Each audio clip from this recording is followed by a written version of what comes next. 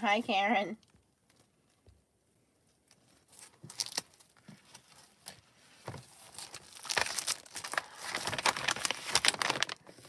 Hello, Bonnie. Hold on, I'm just trying to get everything on the desk here.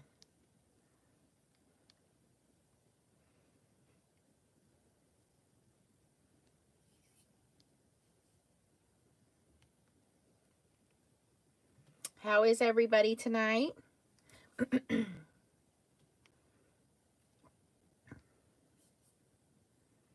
Hi, Patty.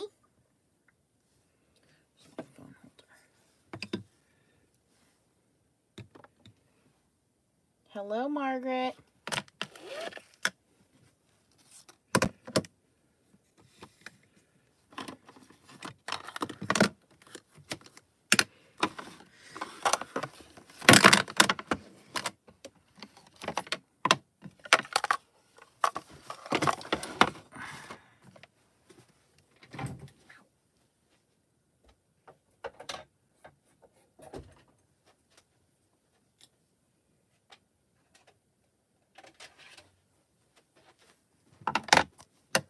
Hi, Sunshine. Hi, Jody. Hi, Gail.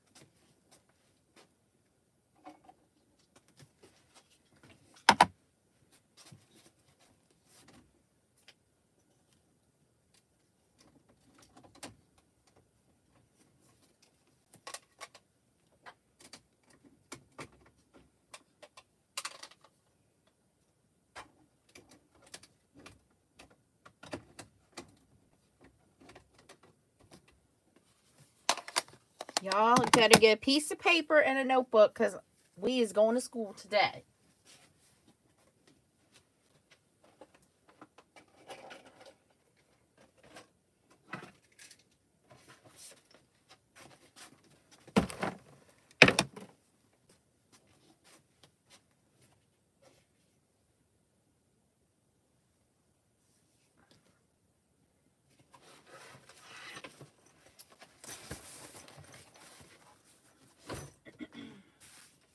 Look at this little artwork Leah did yesterday with a toilet paper roll. She cut the ends off the toilet paper roll and dipped it in a yogurt cup for paint. And then um, dabbed them on the paper and then used a paintbrush to do the green. Yeah, my little artist.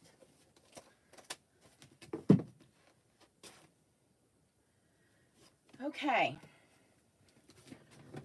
Are we ready? Maybe, maybe not.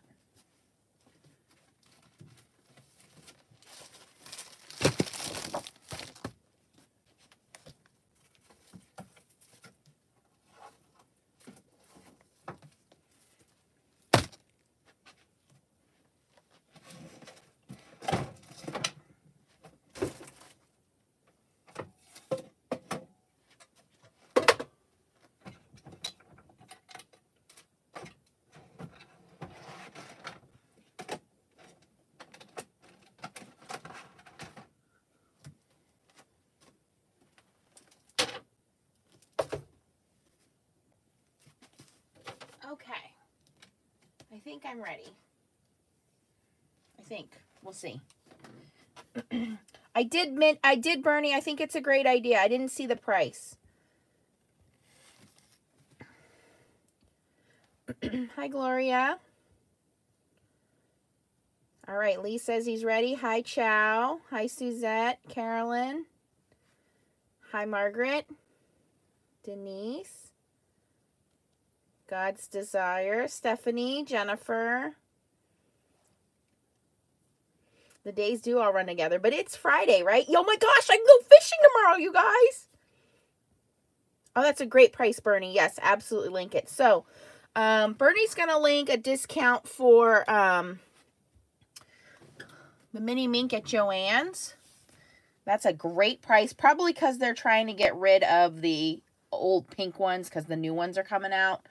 Um, I also wanted to mention I just posted on our Facebook group. So we had our Facebook group is called Foiling and Stamping Fun. Um, I know Stacy's gonna be late. I don't. I mean Tracy's gonna be late. Sorry. Stacy is going to be late. Um, I don't know if Tracy's coming on or if she is here now. Um, but um, I put a link on our Facebook group. If you're not part of our Facebook group, it's foiling and stamping fun. Okay. The foiling. Oh, it's the new one. Even better, Bernie. I think Nancy's going to pick up one of those. Um, I put on there this little form. It's the only way I could make it easy. So you need to fill out this form I put foiling, stamping, fun, card exchange, your name, your address, the city, the state, your zip code, and what country you're in, okay?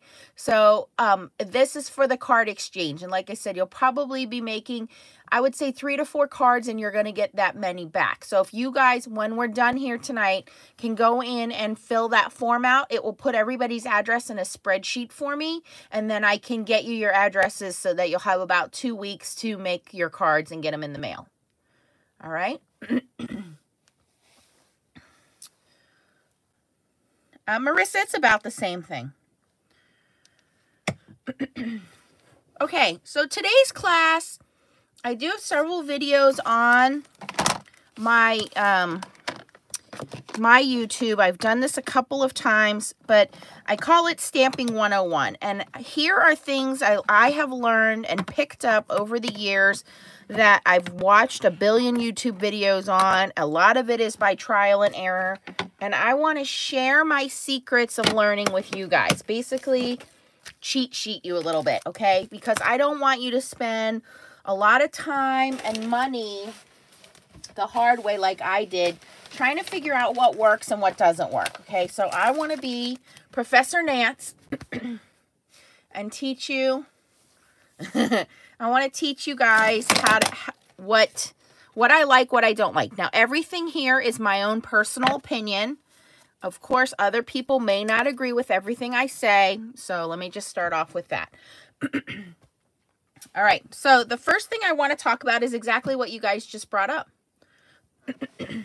which is, let's talk about stamping platforms.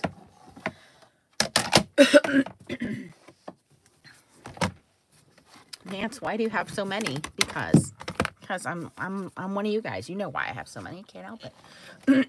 All right, so the very first stamping platform that came out was a long, long time ago from not We Are Memory Keepers, but there was a company before We Are Memory Keepers. It's blue and white. I cannot think of the name of it. Anyway, oh, I know who it is. Hold on.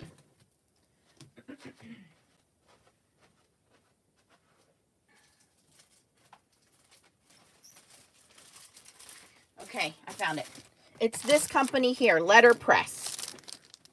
Are they Creative Memories? QuicKutz, that's who I was looking of. QuicKutz, okay? So QuicKutz came out with this very long machine, and what you could basically do was stamp from it, and then um, you can run you can run it through your. At that time, we only had a big kick or a, a, a what's that machine, Adico machine or something like that. Anyway, long, long time ago. And a lot of people didn't realize what the potential of that machine was because we basically thought you could only use it for letterpress. We thought you put your um, embossing folders or your dies in there, you put ink on them, you run them through the machine, okay? And this paper is this very, it's basically soft watercolor paper. That's how I describe it, okay? Um, moving fast forward, okay? This young lady named Ileana came out with and this is probably about four years back, I'm going to say. Hi, Caroline. Came out with the Misti. The Misti had pink stickers on it, and it came with some of these little round magnets which snap together and smack your fingers. And it came with this foam, and it came with this pack of paper which goes inside here. So kind of like this, okay? I took one of these, I laminated it, I put sticky grid on it. And then the foam. The foam you take out when you're using clear stamps, I'm sorry, when you're using rubber stamps, you leave the foam in here when you are using clear stamps. And the name Misti is exactly what it implies. Most incredible stamping tool ever invented. Most incredible stamp tool invented. This is my own wreath maker here I made out of paper. Anyway, as time progressed, She came out with a mini Misti. A lot of competitors jumped on board. Um, she also has a large one too, I believe. And you can change the colors of your stickers now. You can purchase them. You can purchase different magnets, measurement tools, rulers, things like that. Um, it was really expensive. It was, I want to say $69 when it first came out. I don't know if, if that's correct. Somebody correct me. But it's, it's a pretty nice size tool. And what it basically does is whenever you go to stamp something, and I'm sure if you watch any YouTubers, almost everybody has one of these, right? Because you guys saw me make that mistake with the stamp with the fairy yesterday. You just take your piece of paper. I should have cut some paper. And then you put your magnets on there. And previously we all use what's called wooden stamps or clear stamping blocks. Clear stamping blocks are acrylic. They come in all different sizes. They work fine.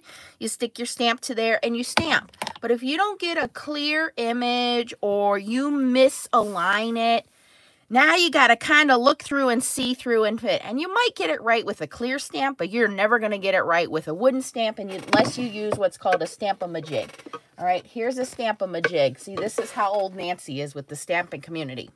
Okay, a Stamp-A-Majig allows you to stamp the image, align this clear sheet over where you need it to go, put it back in place and stamp over. I'm not going to go into the schooling of this because a lot of you don't have this. Great for wooden stamps. That's a class for another day. Okay. But if you have clear stamps or you have unmounted your wood stamps, what that means is you've taken the sticky off of your wood stamps and you can buy this material called cling. Easy Mount Cling. Which looks like this. And what Easy Mount Cling does is it has adhesive on one side so you can stick it to your stamp. And then it has the um, smooth side that will stick to your block. Okay, so basically turns your wooden rubber stamps into cling stamps. Cling is how it mounts. Okay, or you have clear stamps. We're trying to move blocks out of the way. Um, because they're heavy, they take up space. And honestly, the Misti does everything for you. So again, you can stamp up with your wooden block. And let's say, let's just say, oh, I stamped it. I don't like how that looks. I didn't get enough ink at the bottom. Now I have to re-ink it and very carefully look through this and line it up and stamp it again. Well, already you can see I double stamped that and it's off to the right. Okay. So what she did is she came up with this most incredible stamping tool invented and said, hey, let's stick it to the lid. Let's ink it up. Let's press it down. And, oh, I messed up. I didn't get enough ink. I can go back in and it's going to stamp in the exact same location. Okay, so yes, genius, but it was taken off of another stamping platform idea but that stamping platform was kind of used in a different way. Like I said, it was used in letterpress more than anything. Also, Fiskars had out at the time a clear piece of plastic. You might have this, and it has four little spongy feet on it. I used to have one. I gave it away. You do the same kind of thing with this Fiskars platform. You take this clear plastic, you push it down, and if you didn't like it, you could stamp it again. But it was basically a giant stamping block, okay? She's the only one that took this giant plastic platform, incorporated it with this magnetic base, which is what makes it cool, and allows you to do multiple stamping. Well, of course, everybody jumped on the bandwagon, and I'm not trying to be like the history teacher here, but she had her big one. She had her giant one, which is for scrapbooking. Um, then she came out with the mini, which is perfect for card makers. And this is the one you see me use all the time.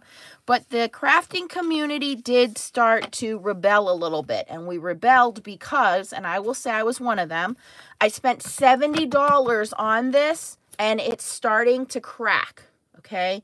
So right here where the glue adhesive is, you can see there are stress cracks in here. There are stress cracks, just all, this is all plastic. And there's a stress crack, a huge one right here. I contacted the company and I said, hey, my platform's starting to crack. You know what they said? Okay, when it breaks, let us know. All right, so I was a little ticked. I was like, I spent $70 on this and you're telling me you're not going to replace it and I have stress cracks in it. So Nancy took, I don't know if you guys can see it or not. I took clear Oracal vinyl and I wrapped this whole top piece with vinyl just to try to help kind of stabilize it a little bit. I think it kind of helped. Oh, I can feel this stress crack goes all the way through. I think it kind of helped, but I don't really use this big one as much. So I went to the smaller guy. And because this is mainly for card making, now he is starting to have stress cracks right here in the hinges. So I'm just kind of careful with them now. But Stampin' Up! has come out with a Stamparatus, which is basically four doors. You get a door here, a door here, a door here. You get, got all these different places you can put the hinges in and out, which is cool. People were making their own. They were taking um, one of these little DVD cases and they put a little piece of magnet in here, you know, like we get for um, the vent covers. Show you. So these Wise DIYers put a piece of, this is a 5x7 um, photo, magnetic photo frame, so it's adhesive on this side. And they put it in here, and they said, hey, I don't need to spend $70. I'll make my own. I'll put a little piece of craft foam in here. So those of you guys that don't have one, you can try this. Put a little piece of craft foam in there. They stuck this down on there. And then they put their paper in and they used the little magnets. And the magnets you can buy anywhere. And they made their own DIY, right? Which was great. Um, but it's very small. It's limited. You can't do big pieces of paper. And it is still hit or miss because your stamps are different sizes and so on. But it's not $70. It's less than $10 to make that. Um, so you see some of these. Well, Tim Holtz was kind of Im improving on the design. So here's what Tim Holtz did. Tim Holtz said, look, I'm going to make mine out of heavier duty sturdy plastic, which he did. I'm going to make it open on two sides so it has a little uh, bordered edge here so your paper doesn't slide down. But it's open on two sides, so if you wanted to do scrapbook or 12 by 12 paper, you could do that. But here's what made his different. It's still magnetic. His lid comes off. So his lid lifts right out of this little channel. It's not magnetic. I thought it was magnetic, but it's not. It just lifts out. And you flip the lid. So you can go to the clear side or you can go to the rubber side. No more having to take the foam in and out of it. You just flip the lid, which was genius. You know how much this sold for brand new? $40. Perfect price point very large, very easy to clean up. The other thing he did is the grid lines in here. So let me show you these grid lines. These grid lines are basically, oh, this is the new one. On the original one, this pink grid line is painted on. So if people used a StazOn cleaner, it, it came off, okay? So she he improved the, the lid. He improved the size. He improved the grid lines. These are etched in, so you don't have to worry about washing them off. He really did improve this. He put the measurements down here, so they're not stickers. They're black. You don't have to worry about getting ink on them. He really blew it out of the park. And I think brand new, when it first came out, it was $40, okay? Well, let's just say a lawsuit ensued. And in the United States, they're not supposed to be able to manufacture or sell this anymore. You can get it in Europe. You cannot get it in the United States. Now, any stores that had them in stock are allowed to sell them. Um, and yes, Tim Holtz came out with a mini one. So for those of you that are in Europe or can order from European stores, you can still get this. All right. Now, both of mine, I put a little piece of sticky grid. It just helps without having to use the magnets. Honestly, I think I don't really rely on the magnets anymore because they used to pinch your fingers when they snap together. These are powerful little magnets. They're not regular store ma magnets. So I put a washi tape on there so I can pull them apart a little easier. Um, all right, so those are stamp tools, okay? Um, but I would say that whichever one you get, Misti, Tim Holtz, um, We Are Memory Keepers had one. They got it off the market. Um, who else? Um, Stampin' Up, like I said, has a Stamparatus. And Stampin' Up is similar to this design, but you have, I think, three or four of these sizes. So it's like one up here, one up here, one up here. So that if you're doing layering stamping, it's pretty cool because you can go layer one, and then you have like a lid up here. You can go layer two, and then you have a lid over here. You can do layer three. So that's a great idea on Stampin' Up's part. So Stampin' Up kind of moved their direction a little bit. She hasn't gone after them yet. Couture Creations just came out with theirs, I believe. Yes. So here's my point. Whatever one you can get your hands on, I do think it's worth it. Do not throw away all of your blocks. You will still use your blocks. Um, but these do kind of improve your stamping life, okay? I'm not really endorsing for one or the other. People say, if I have one, do I need another one? My answer is going to be no. You're going to find that whichever one you are able to purchase, whether it be the mini, the large, the Tim Holtz, the Misti, whatever it is, you only need one, okay? So just get one if you can. Uh, the Hero Arts Misti, all they did was change the tape from pink to black. Okay, so Stamparatus is retired? Okay, could be. They changed the tape from pink to black. Yes, there was one called Hampton Arts, which is an identical copy of this, but the tape was blue.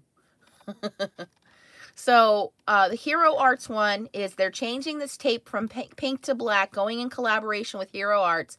Now, sometime this year, they're supposed to be launching a new Misti. The new Misti is supposed to have new hinges. The door is supposed to have a little bit of a lip here. See how I have tape on mine because there's no lip. The Tim Holtz one has a lip on it. See this little lip? So the Tim Holtz one is easier to grab. So supposedly this is going to be revamped for this year, but they want to, I think what they probably wanted to do was clear out all of the pink ones. So they changed the stickers to black and they now call them the Hero Arts ones. That's really what I think happened. You got to move your inventory, you refresh it, you advertise it a different way. That's what they did. I just realized that this is broken. Okay, so Bernie advert Bernie said she saw them at Joann's for $34.99. Great price. If you don't have one, I would definitely pick one up. Yeah, these, I believe, are still allowed to be made and sold in Europe because she couldn't sue in Europe. She can only sue in the United States. okay, so that's the stamping press story. My point was you don't need three or four of them. One will work good. I do like this one if you can get it because it has a large platform. So when you're doing background stamps, my only issue with this is every once in a while it does miss because of how big it is, especially when I'm, so it's nice that, um, I know Stacy puts a little piece of fun foam underneath hers. You can do that. But this is a really cool one. If you if you can't and you can get yourself a Misti uh, cheaper, right, unless you're like us, Karen, and you have full set syndrome and you just have to have one of everything. or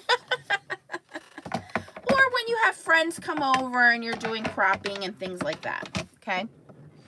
All right. Let's talk about inks real quick because I think it was, was it Marissa yesterday asking about the inks?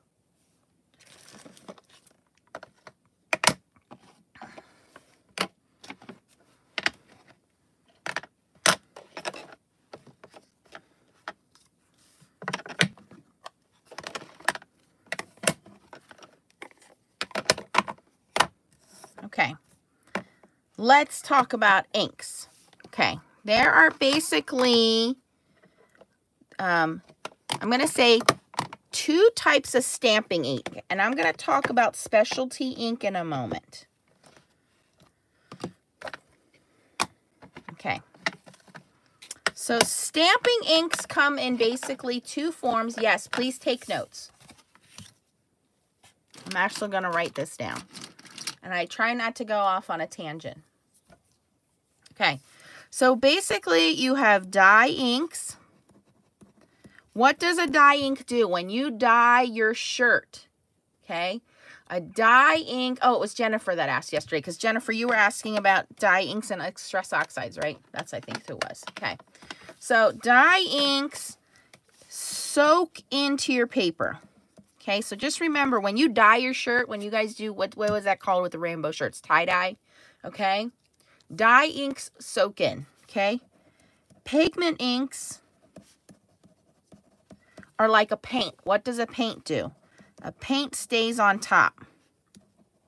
So when you guys think of paper,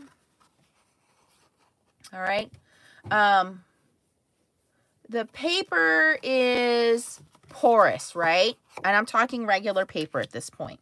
So when you stamp with, and I'm just going to keep using this crappy little silicone stamp, a dye ink,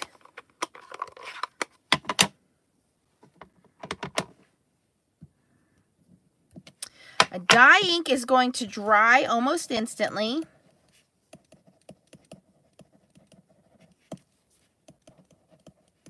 Okay, the color will dry back because as it's drying, what's it doing?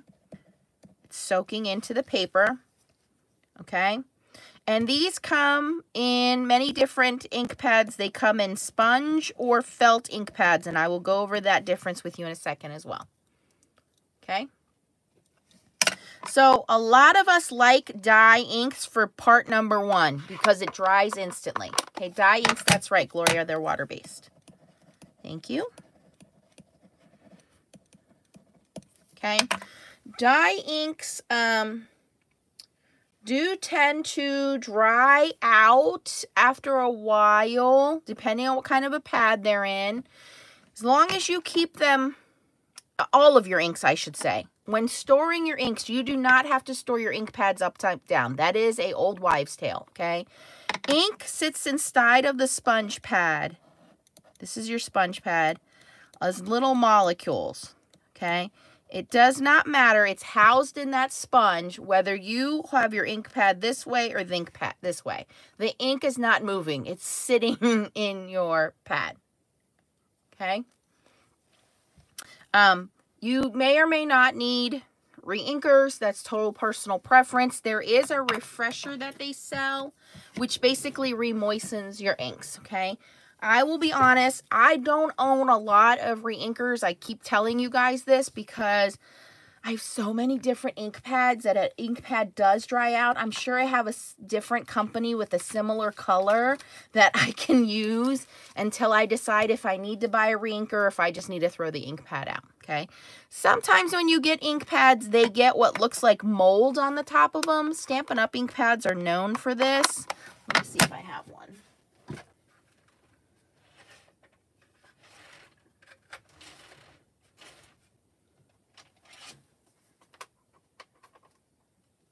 Here's one.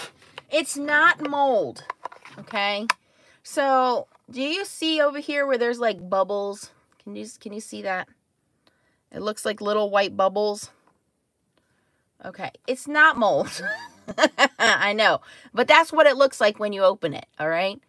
What that is, is it's when the ink starts to get into settling, the air bubbles pop up, when the air bubbles pop up, this is what it looks like. Now, it's it's normal. It does happen.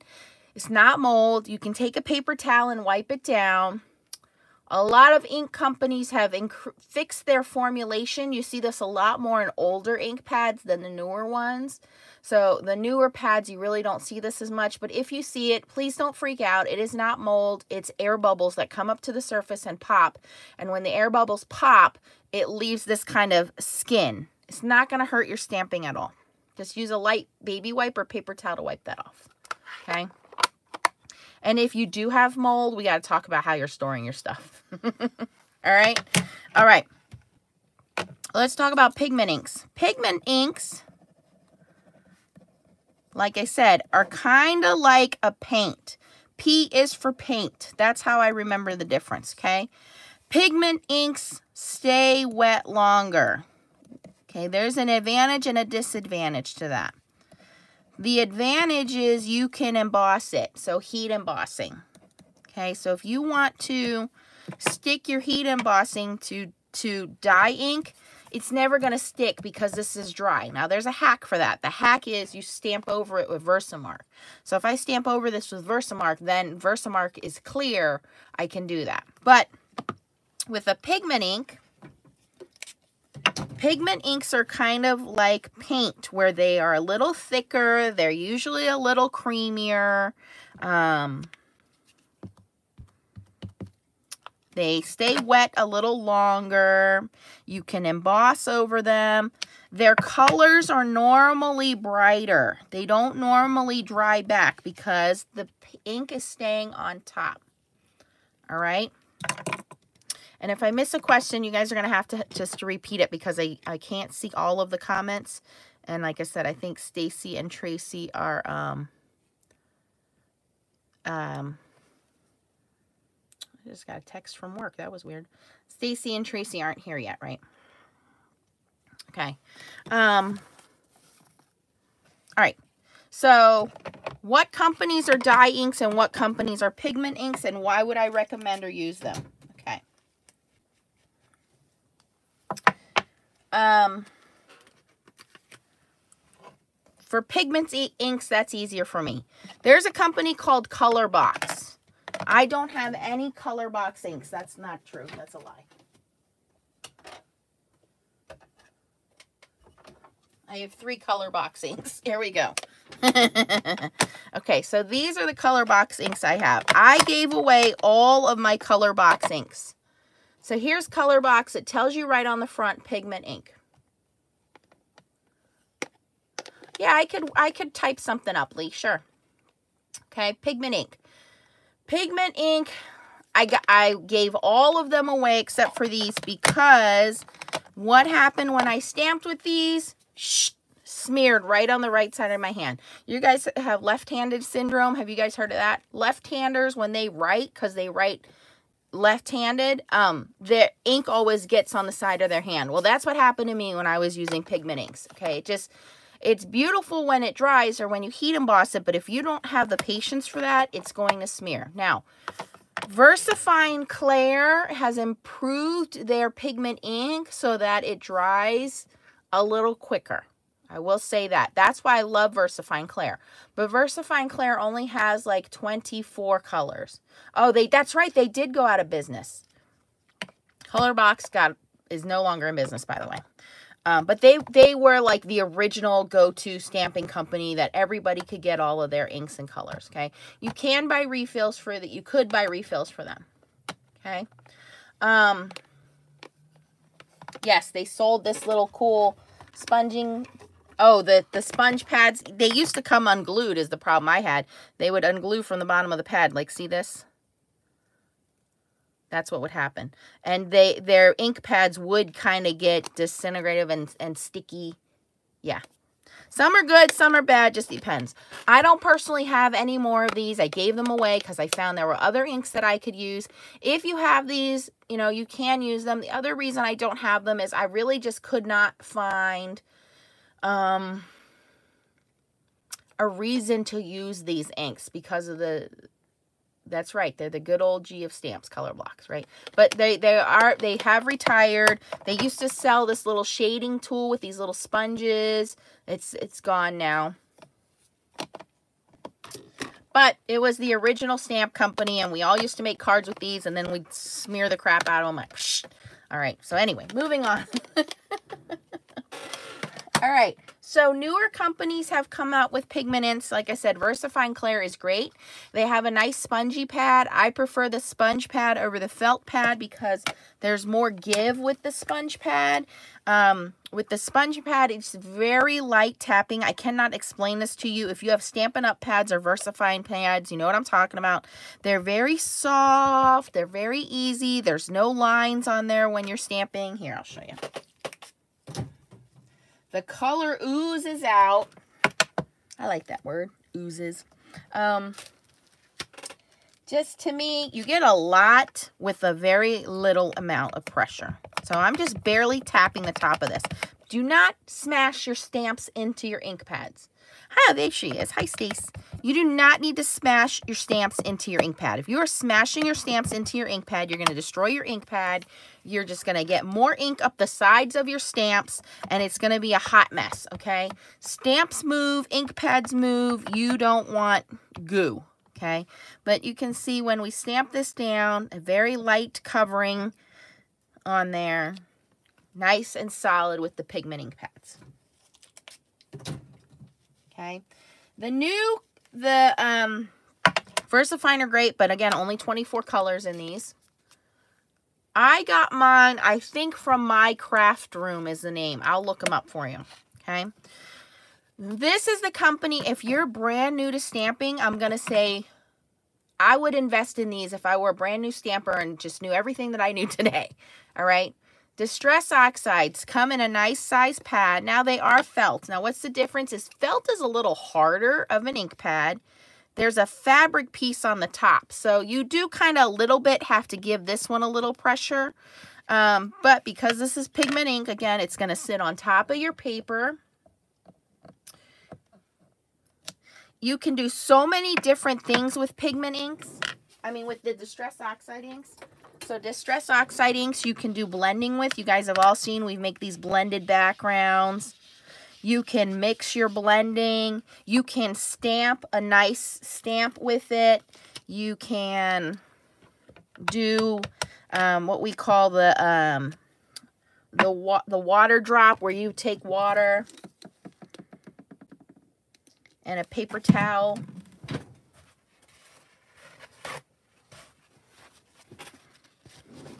And you lift that up. Now, it might not work on this particular paper because I forgot this is the paper. But Distress Oxides are kind of like, um, yes, dye inks dry. Distress Oxides are, I'm going to call them the, um, what's that tool called? The Leatherman of stamping.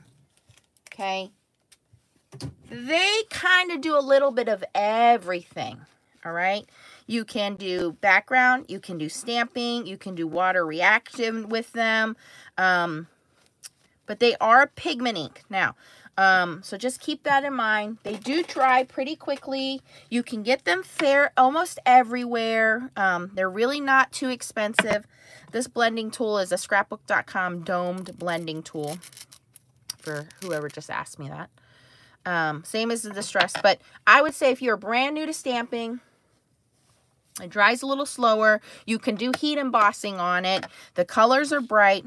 Just a completely different animal. So these are my two favorite when it comes to pigment inks. Okay.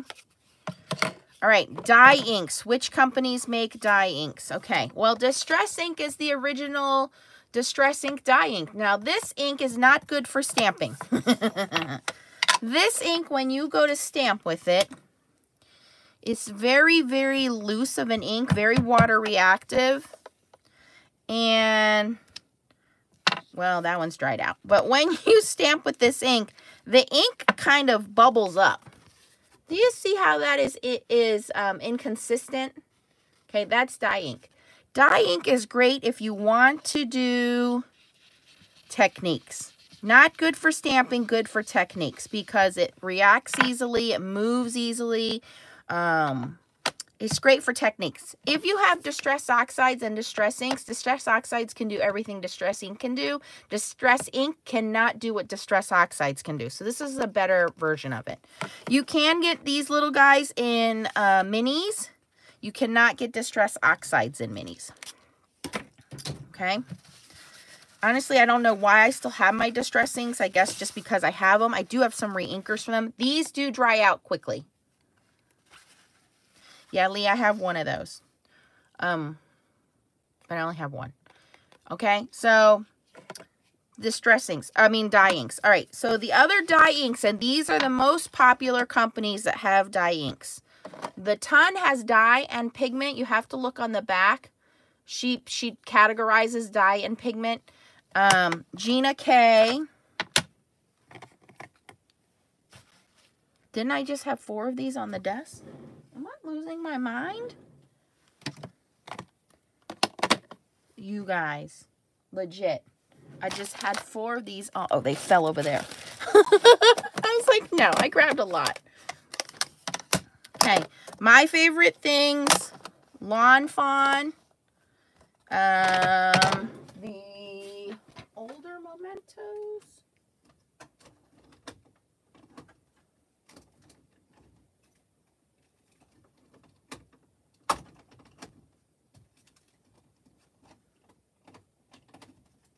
All right. But anyway, here's my point.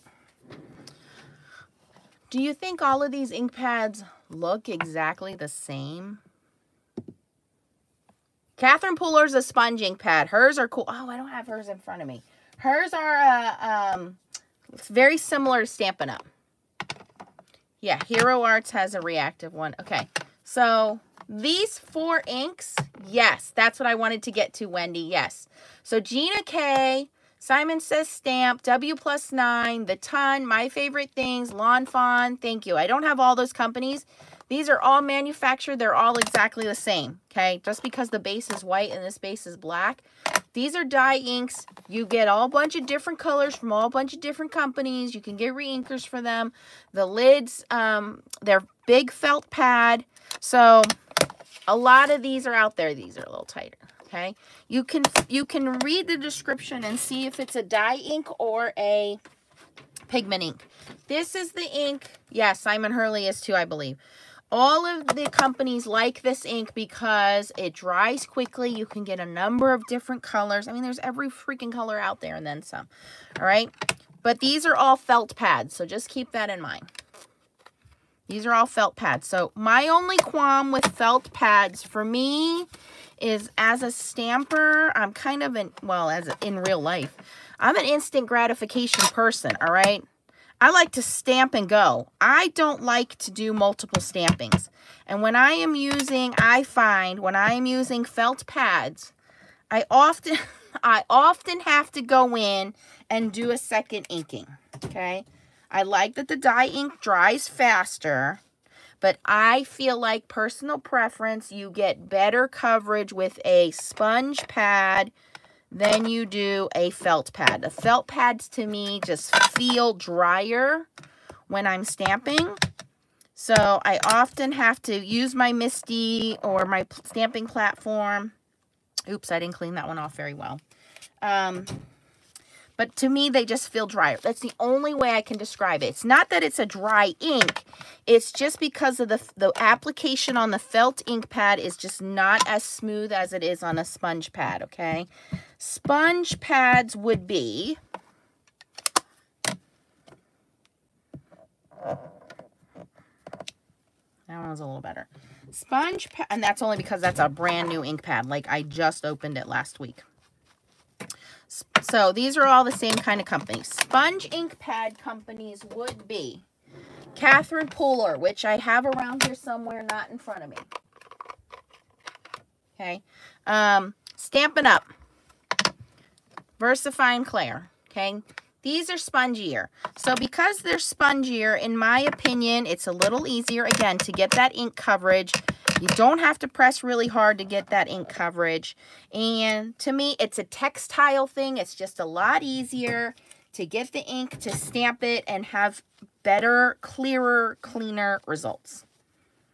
Again, my personal opinion, I prefer the sponge pad. So you will see when I am stamping, I am normally using sponge pads, which are these guys here. And Catherine Pooler. Yes, Catherine Pooler inks are very nice as well. I do have a few of hers around here somewhere. Okay. They're still dye inks. Well, these are dye inks. They can be dye or they can be dye or um, pigment inks.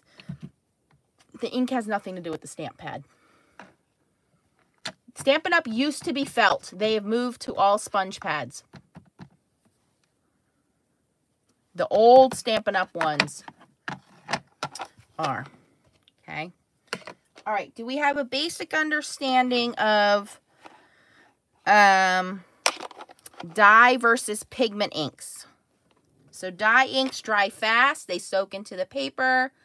Pigment inks dry a little slower. They're kind of like paint. They're a little more vibrant. You can heat emboss on them. Distress oxides are kind of a mixture of both. All right, I'm going to go into real quick specialty inks.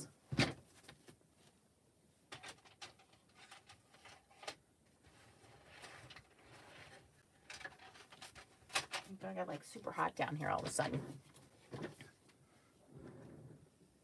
Hybrid inks are a combination. Hybrid inks are like, um, Distress Oxides are hybrid ink. It's an ink that usually stays wet a little bit. Um, I'll be honest, I don't like hybrid inks. I think hybrid inks dry fairly quickly. They do give you vibrant colors like a pigment ink, but to me, they just are very dry and very hard to work with, in my opinion. I have not found a hybrid ink other than the Stress Oxide inks that I actually like.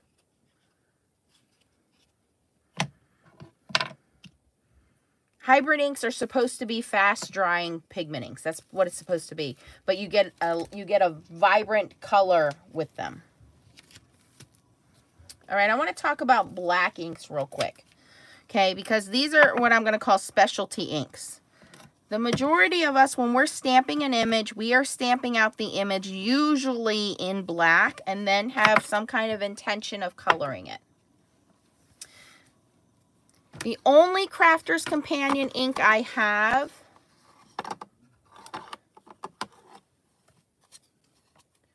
um, is this Spectrum Noir Finesse. This is the only one I have, so I don't have enough of those to make an opinion on that for you guys yet. Okay. Um, Denise, I would say if you're just starting to build up your stash, I would go with uh, Distress Oxides. Oh, yeah, Altenew inks. You guys know I use the mini Altenew inks. I do have the full-size. Altenew inks are dye inks as well, and they come on a little felt pad. Here's the full-size Altenew inks. That is a felt pad. Altenew inks are nice. They're juicy. For a felt pad, they're very juicy.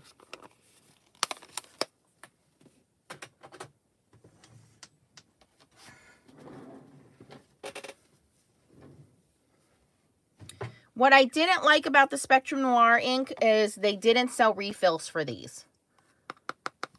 So I only have one, and then I found out it doesn't have a refill. You have to buy a whole new ink pad.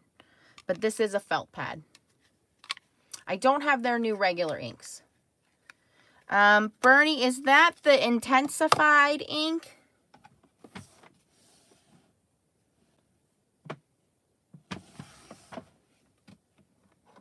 I did order one of those and I sent it back, but we'll talk about that in a second. Okay.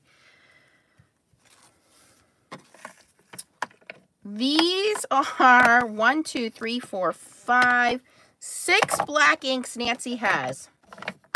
Why do you need six black inks, Nancy?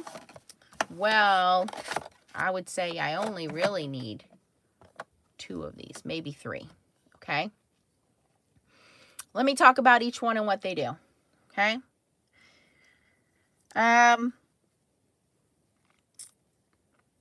let's talk about Copic marker coloring. Copic marker, alcohol markers.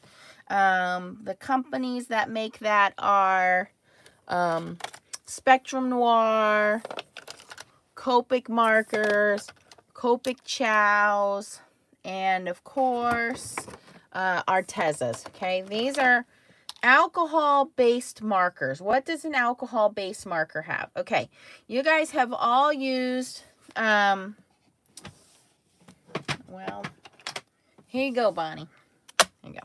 You guys have all uh, heard of alcohol-based markers. Everybody here has used a Bic marker, right? A Sharpie marker or Bic market marker, permanent markers. Oh, I have Stampin' Up! ones. Here we go. Here we go. Okay, there's a lot of companies that make alcohol markers, okay? Alcohol markers are exactly what they say. They are alcohol-based ink. You can smell the alcohol in them. They dry very, very quickly, and they smooth and blend very nicely when you're coloring images, when you do different layers and different colors, okay? Sharpie marker is an alcohol marker. This is what I'm comparing it to, a Sharpie marker a Bic marker, um, those kinds of things, okay? You cannot use regular ink when you go to color with these. If you use regular ink and go to color with these, the ink is going to smear. Okay. Um, you have to use what's called an alcohol proof marker. I mean ink. So let me just demonstrate that again.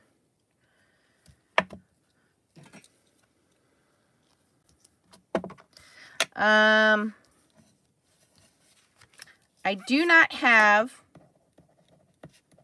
the My Favorite Things one. I did try it. I sent it back.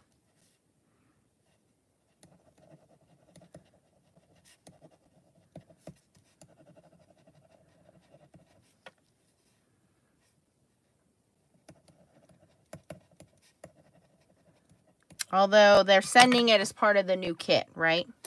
And I'm using this crappy little silicone stamp.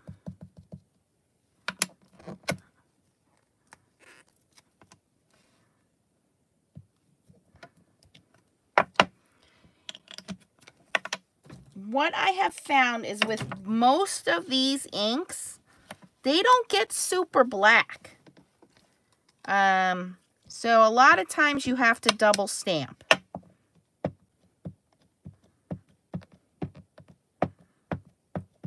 Okay, with all of these specialty inks, I'm going to recommend a re-inker.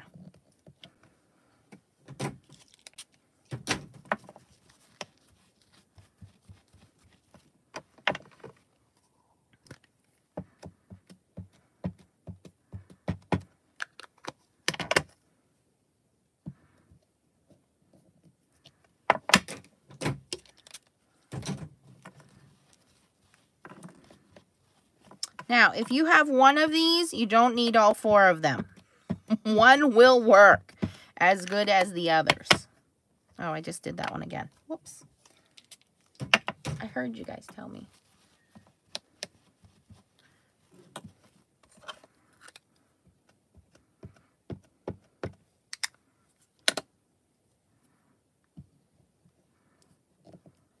All right, we're going to give all of these a second to dry. Now, I was on the hunt about two years ago for the best alcohol ink marker. So we have Gina K, Spectrum Noir, Memento, Brutus Monroe. These are the four that I am going to test out for you guys on these inks, okay? Um, here's what I found out. And I'm going to grab a yellow marker because I think this is what I normally do when I test this out is as you start to color with them, none of these are supposed to bleed or move. Okay, and they're all pretty good. They're all in the same category for there.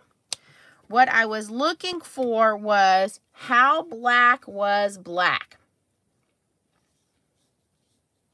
Um, Okay, so the one that I was reaching for now, I will say, I think Gina improved her formulation. You don't have to heat set them, Stacy. You can. You don't have to. It just makes it a little easier. I, I will say you do want them to dry completely. You can see the Brutus Monroe kind of smudged a little bit because you do want them to dry completely. Okay. Um, the Gina K, I was, I got one of the very first, um, when she sent it out. She sent it out in one of these big ones. I sent it back. Um, and the reason was it smudged. Every time I used it, it smudged and it drove me nuts. So I ended up sending it back. Same thing happened with the My Favorite Things. Is it the Intense Black ink? So I don't know if those have to be heat set. Um, but it drove me nuts. Spectrum Noir, I recently picked up last year. Then I found out that it, um, it doesn't have a re-inker. So I was like, man, Memento is everybody's tried and true. These are like your old favorite blue jeans, okay? They, they're the most comfortable, but you end up cutting the grass in them. You end up painting the house in them. You know, even though they're the most comfortable, they don't always look the best if you're going out to a nice dinner, okay? So Memento is the one everybody has in their stash. It is tried and true. It works.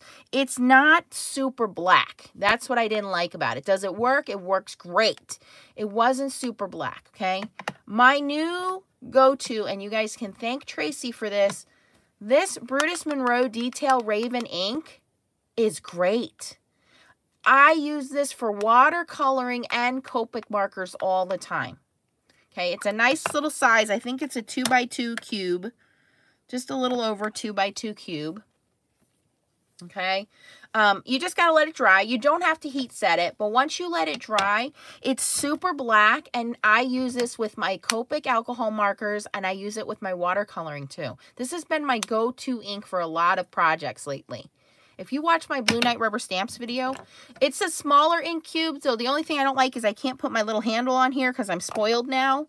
I can't put this guy on here. But it's a nice small size. It's easy to open and close. So if you're somebody who has arthritis and has issues, this isn't a real big ink pad. It's very small. Okay.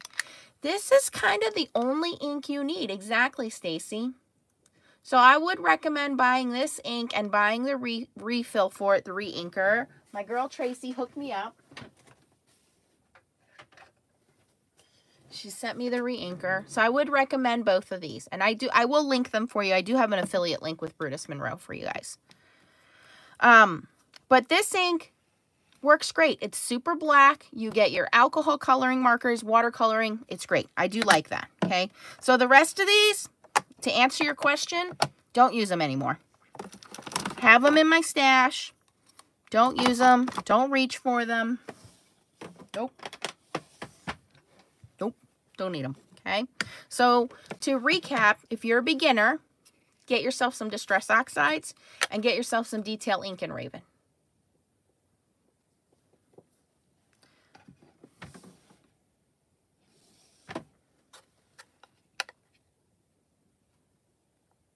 All right, that's a different story, Stacy. We're going into that next. okay. When we're talking about watercoloring or um,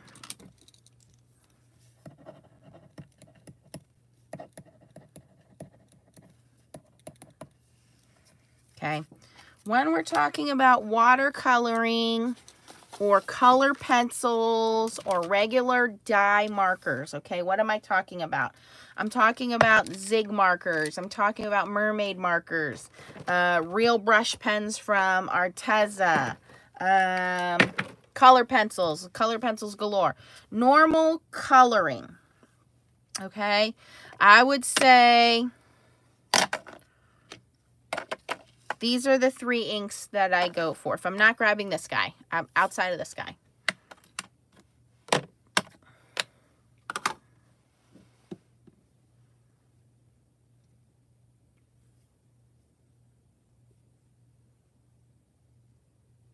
Teresa, those are on my list, but they're expensive, and I would really love to have a set of them.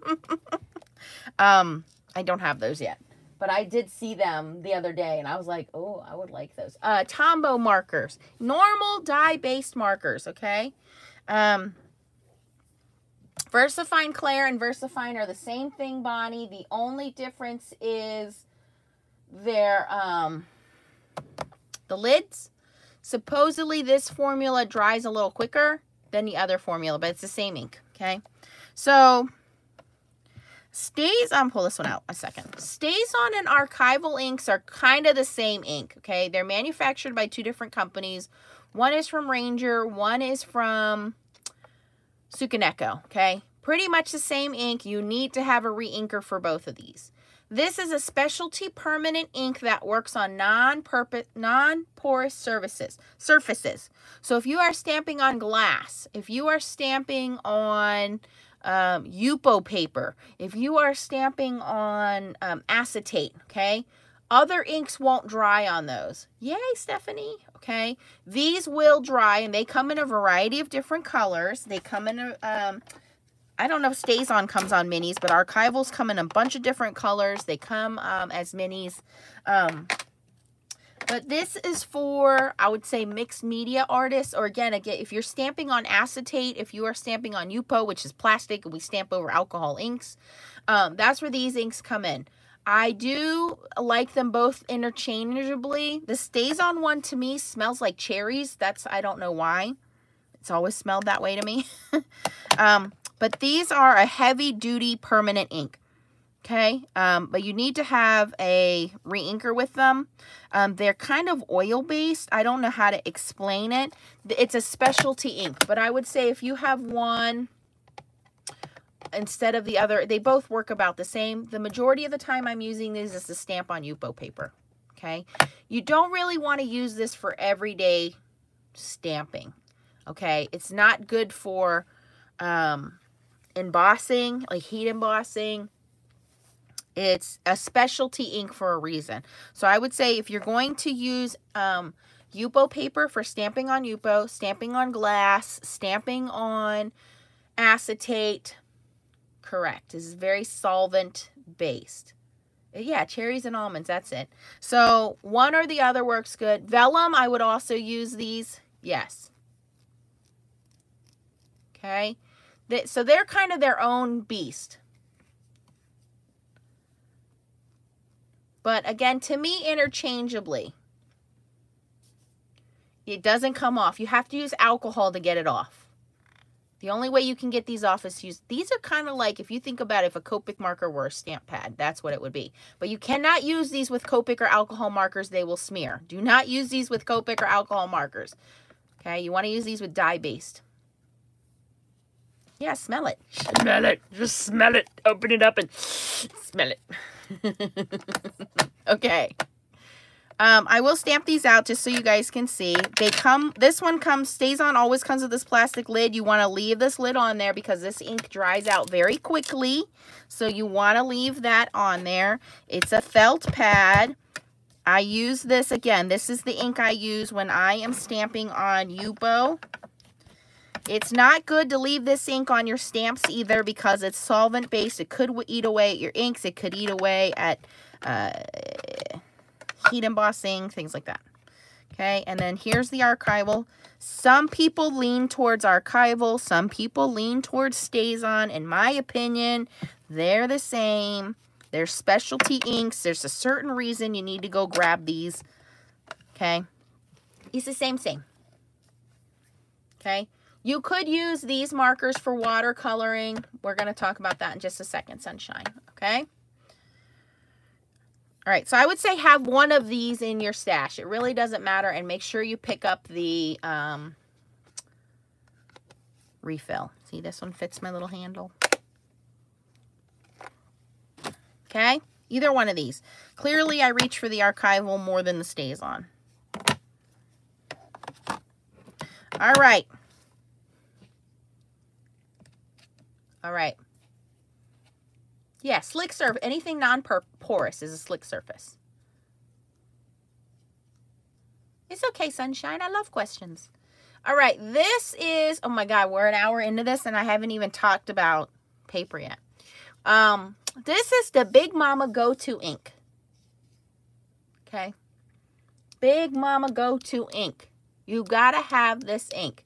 Um, let me grab the other VersaFine so you can see what the old one looks like.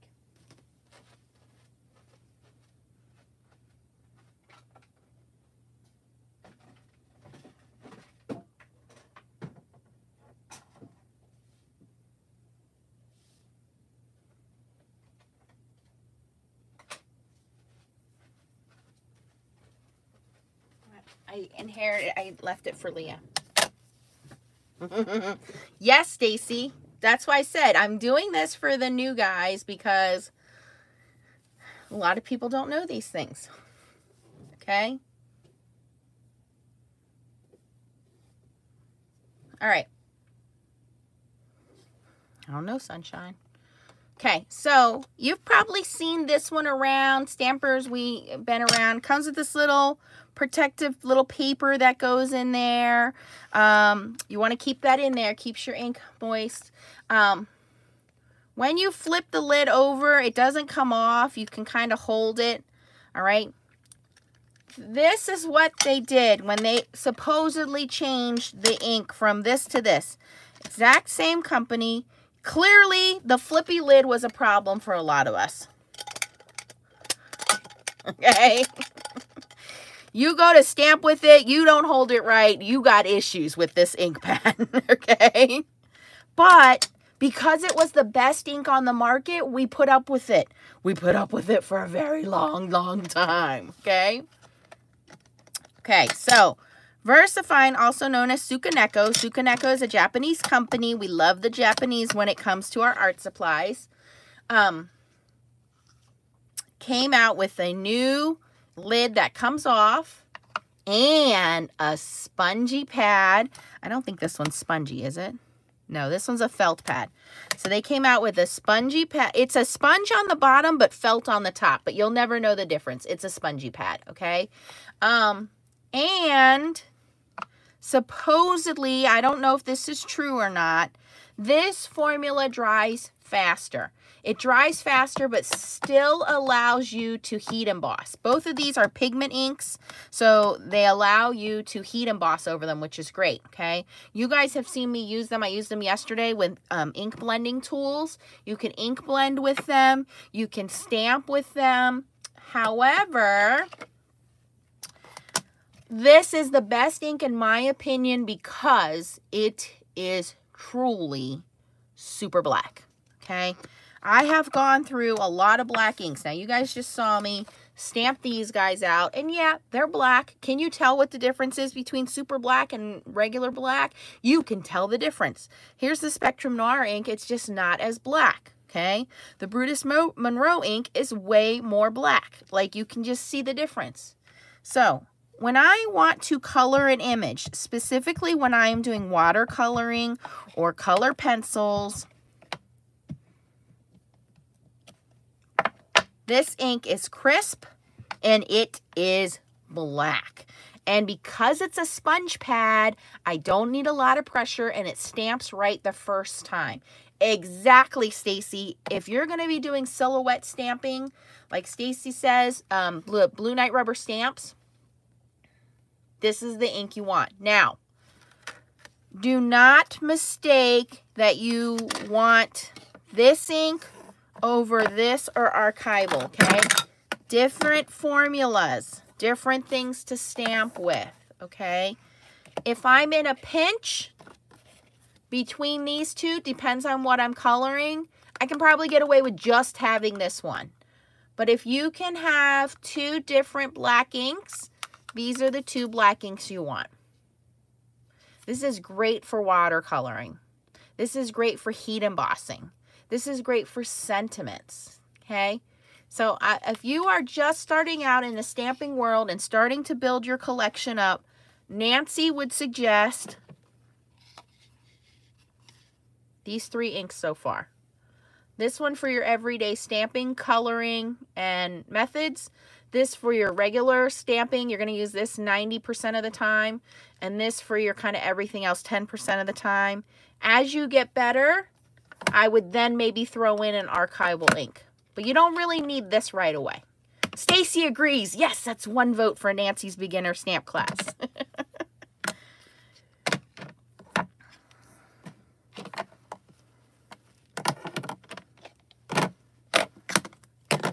okay, why do we need different colors? Because that's what we do. We have full set syndrome. The different colors are nice because if you're going to be doing heat embossing, the only heat embossing um, you need is clear. You can stamp this in any color and you have clear ink. If you're going to be doing any kind of, good night Marissa, um, techniques, it's nice to have this ink. Now, if you have either one of these, they pretty much work the same way. For me, it's personal preference on the stamping pad. I like the soft, squishy, spongy pad over the hard felt pad. That's really my only difference. Is this is a hard felt pad. Yeah, we have full set syndrome. We have to have every color. This only comes in, I think, 24 colors right now. I personally like the soft, spongy pad. Good night, Kirsten. Okay. Yes, Catherine Pooler inks I would put very similar to these. Yes. Yeah, I agree with you. I do have, I don't know where my Catherine Poolers are. I do have a few of them. I don't have a whole bunch, but I found they were the same as the VersaFine Claire, and it was the same company selling them when I went to the stamp show. So I bought a couple of these and a couple of those. I just tended to reach for these. Goodbye, Roxanne.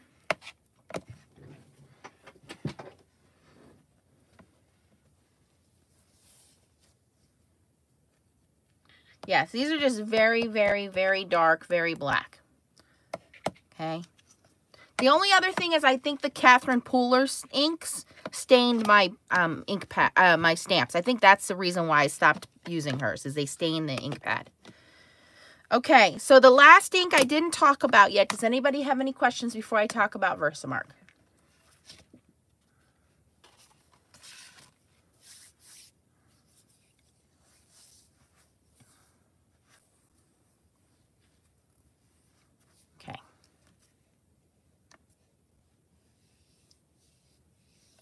Yeah, I like that too, Stacy. You're right. Yeah. You can check out Catherine Pooler's um, pages.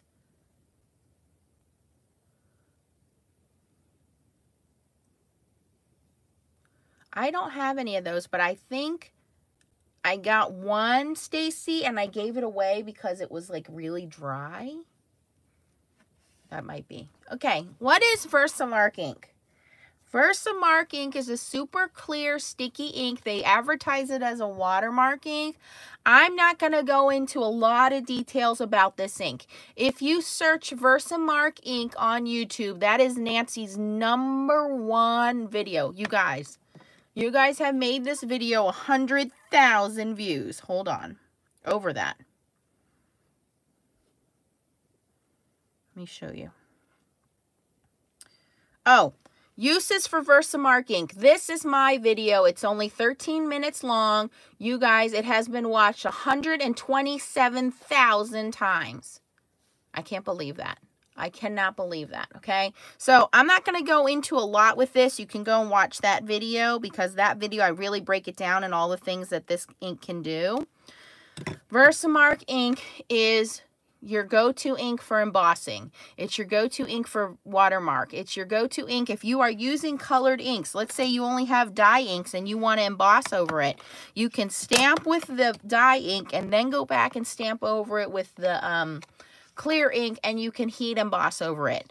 Um, what else do I do? I do a resist with it, okay?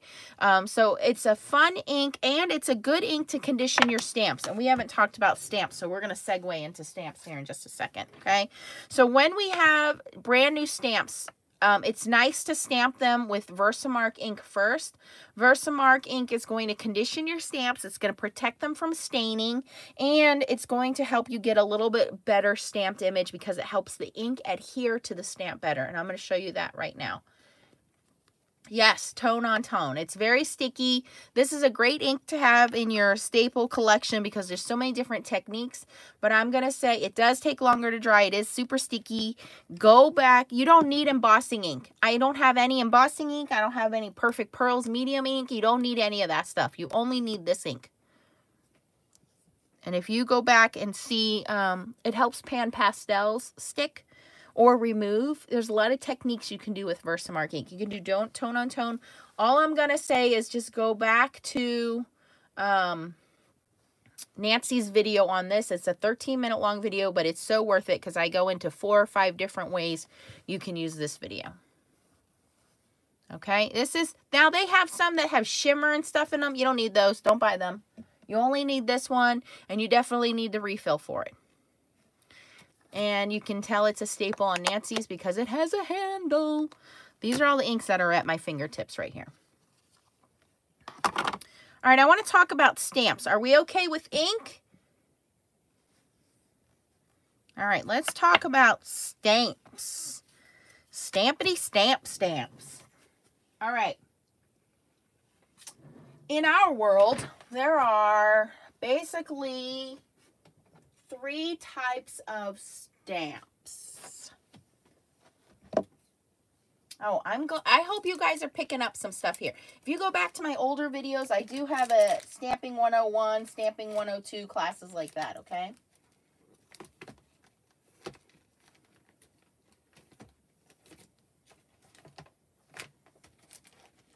I'm just trying to grab stamps here off the desk. Okay. Whoa, Cherise, what is that? A video with embossing folder and the ink on a three compartment wedding invitation card. You mean um, a trifold card, honey? I did do a wedding card like this.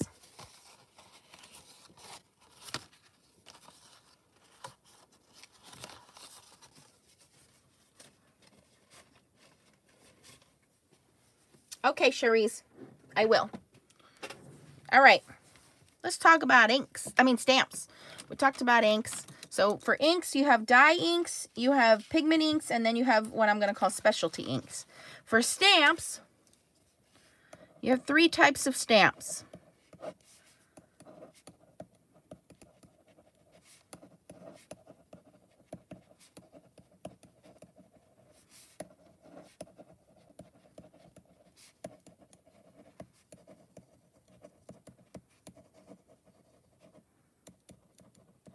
Okay, let's talk about the first two. So you have silicone, photopolymer, and rubber stamps. Uh, Cherise, I do. It's probably about three years old. I, I made wedding invitations for my best friend. They are with Anna Griffin um, embossing folders. Okay. Silicone stamps. And uh, they're all, they can all be cling. All cling has to do, cling and wood mount are how you stick it to your stamping. That's all, that's all the difference between cling and wood mount is. Any of these are always going to be cling, usually. And then these are going to be either cling or wood mount. Okay, that's just, cling or wood mount is just how it sticks to the stamping block, okay? So you have, um, like these are red rubber stamps, but these are um, cling mount. So this, all that does is it tells you how it sticks to the block. That's a cling mount. But we used to call these red rubber wood stamps, but they're, they're no longer wood stamps. okay.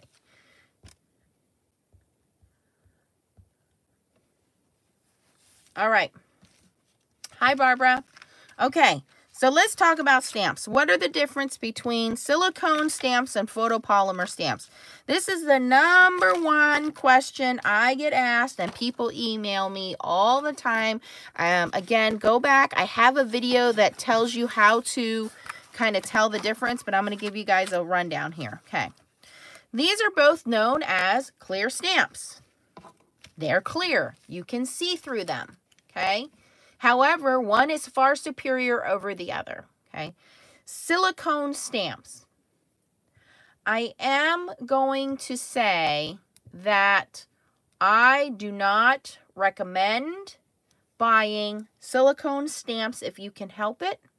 If you find that it's, wow, too good to be true, that's right, Stacy. Silicone sucks. And I am going to plug my channel here and say I do not endorse using companies like uh, Wish.com or um, what's the other one I tell you guys not to buy from? Uh, the other Chinese company, okay? You guys know who I'm talking about. You don't want to use those companies because what these companies do is they take photopolymer designs. Yes, that's it, Jennifer. They take photopolymer designs, they steal them, and they print them onto silicone stamps, okay? You might say, oh, I'm not spending $25 on that kitchen sink stamp, so I found one on AliExpress that I can get for $6. It is not the same. First of all, it's stolen. A lot of these companies are companies that make and manufacture their stamps in the United States, okay? Do not be fooled in thinking, oh, it's made in China and they're stealing the designs. These stamps will tell you made in the United States, okay? Spellbinders, Hero Arts, um, Creative Vision stamps, kitchen sink stamps, um, the, the those stamp companies photopolymer stamps, okay? What's the difference you guys are saying? Okay. The difference is silicone stamps. What do we use for silicone? When I say the word silicone, besides boobs, what else do you think? I know you guys all just laughed. silicone stamps. Silicone is what we use to caulk our bathtub with. When your bathtub starts to link, leak, you put silicone around it, right? What is it designed to do? Keep the water out of your bathtub from going through the wall, right? Here's a silicone stamp. Look at how stretchy that is. Okay?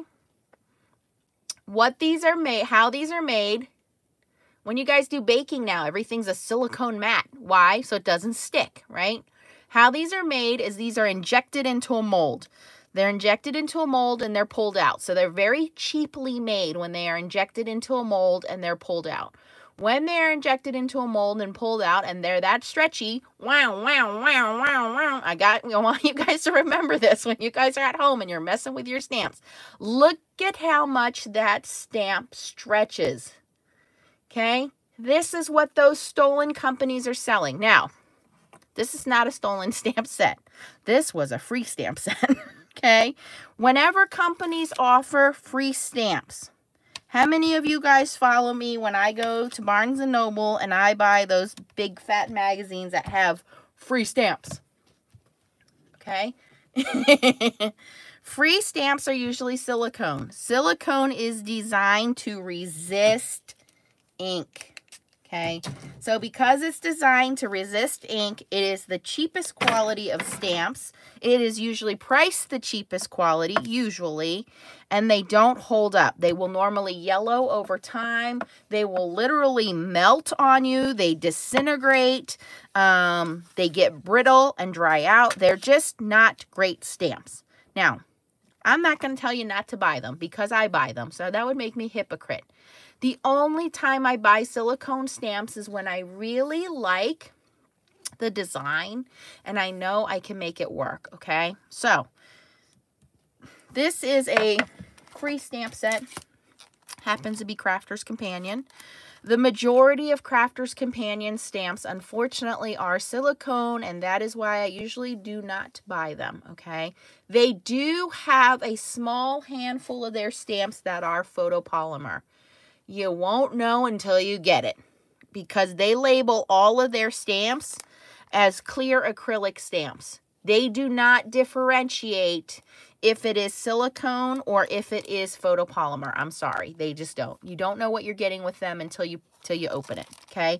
The other companies that are out there, Simon Says Stamp, Kitchen Sink Stamps, Hero Arts.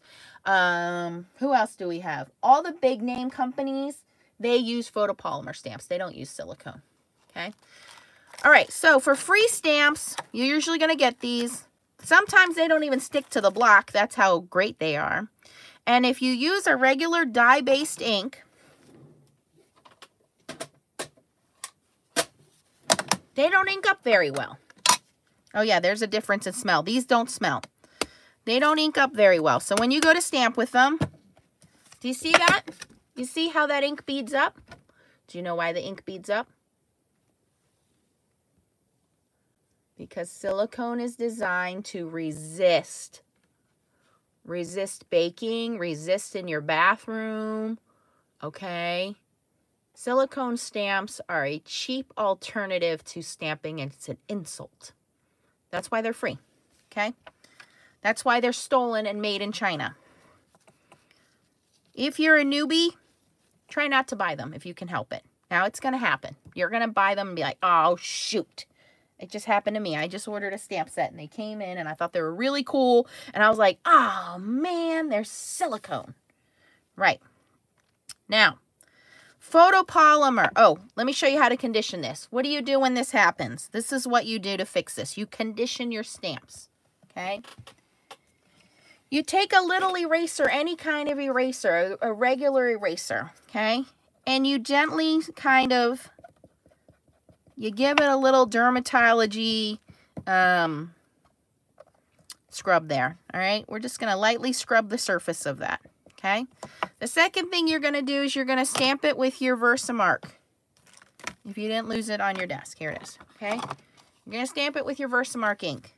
What is this doing?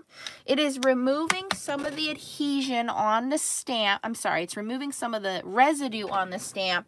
And yes, we're exfoliating the stamp. We're giving it a facial. We're going to exfoliate it, and then we're going to fill in its pores with Versamark, okay? This is going to condition your stamp to accept ink better. Same stamp, two different results. Yes, we're doing dermabrasion. Okay. The third thing you can do to make sure that these stamp out better, and I'm going to grab a, another brand new one here that I have not conditioned yet. Oh, and it's not unlikely that these are very hard to remove from their carrier sheets a lot of times. You got to wrestle them and they do rip off. Okay. The other thing you can do to have better stamping is to use pigment ink. Pigment ink sticks to everything because it's like a paint. Okay, so pigment ink doesn't care that this is a silicone stamp. Pigment ink says, I'll make it work. I did not condition that stamp.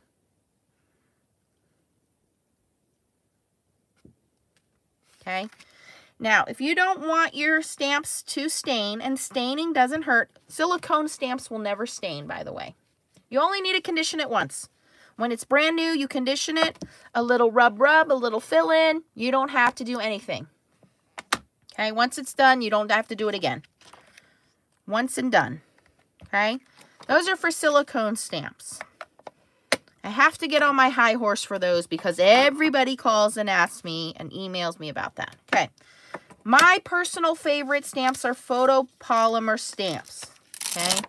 Photopolymer stamps are manufactured through a UV light. So here's what happens. The artist draws their design. Okay.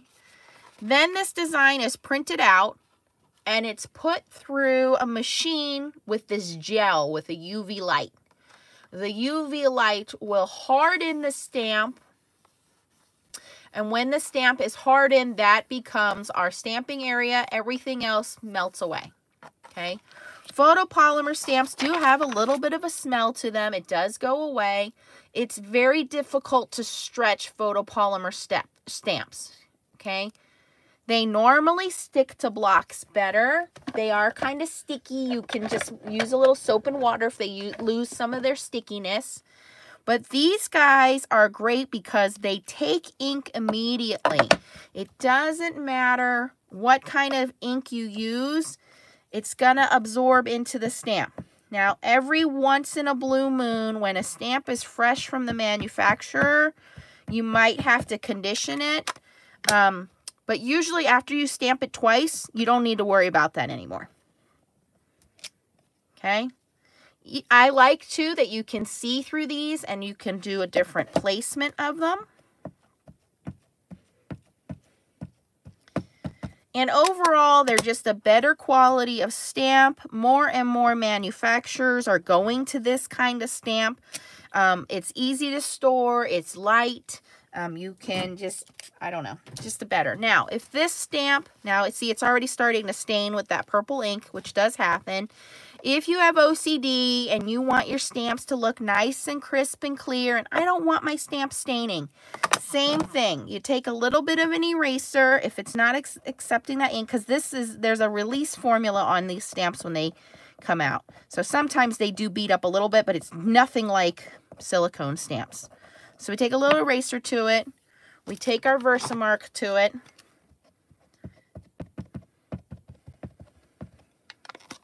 And now you don't have to worry about your stamp staining. The Versamark fills in all the pores on the stamp and kind of gives it a protective layer.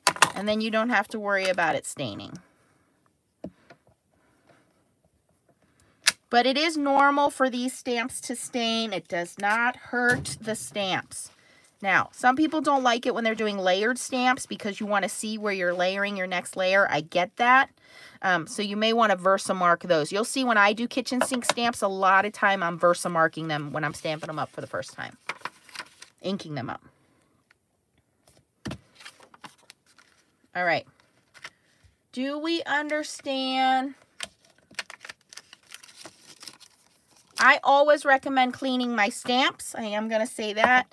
Back in the day, we didn't clean our stamps very well.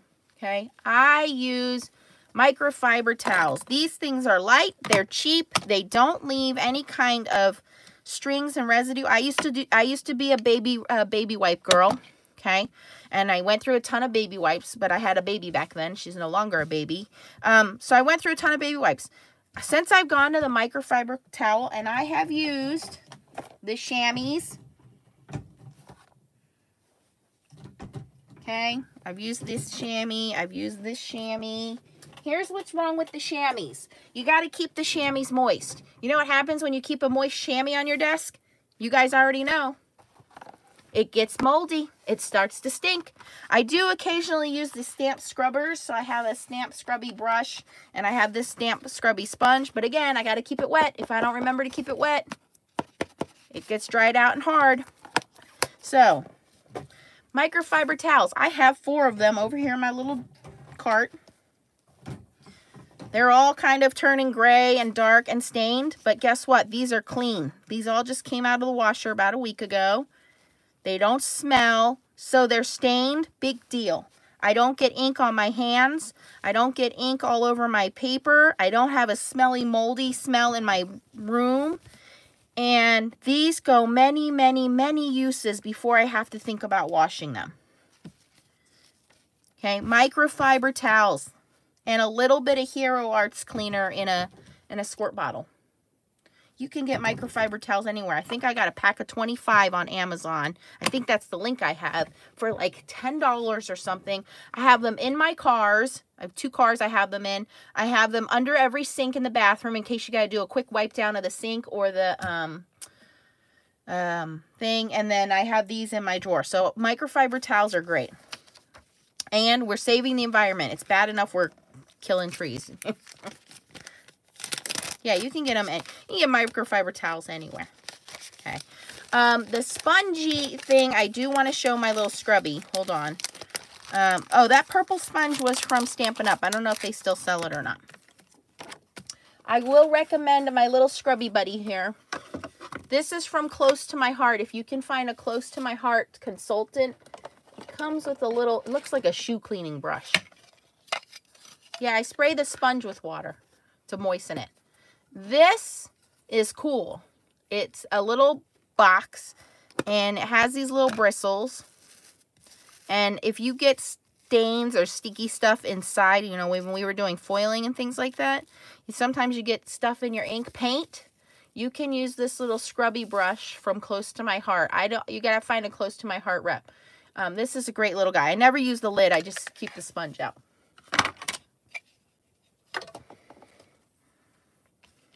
Okay. Do we understand the difference between silicone and photopolymer clear stamps now? If a clear stamp is clear, it's one of these two. I don't care if they call it acrylic. I don't care if they call it acetate. I don't care what they call it. It's either silicone or photopolymer. There's no ifs, ands, or buts about it. It's one of those two. Okay? Silicone sucks. Photopolymer's better. Okay? Photopolymer stains will stain. Stamps will stain. It's fine. It doesn't affect the stamp. You want to condition the silicone ones if you're going to buy them and use them. And we don't buy from Chinese ripoff artists. All right, let's talk about rubber stamps. Rubber stamps are your tried and true stamps. Okay? My mother-in-law called me the other day and she goes, I watched your YouTube channel. I had no idea what you were talking about. I thought you were going to stamp some stuff and color it. and I said, well, that's not what stamping is anymore. And she goes, yeah, I saw that. You were doing some kind of fancy thing with a machine and everything got all shiny. okay, so. um. Oh, no problem, Deb. I got your email. okay.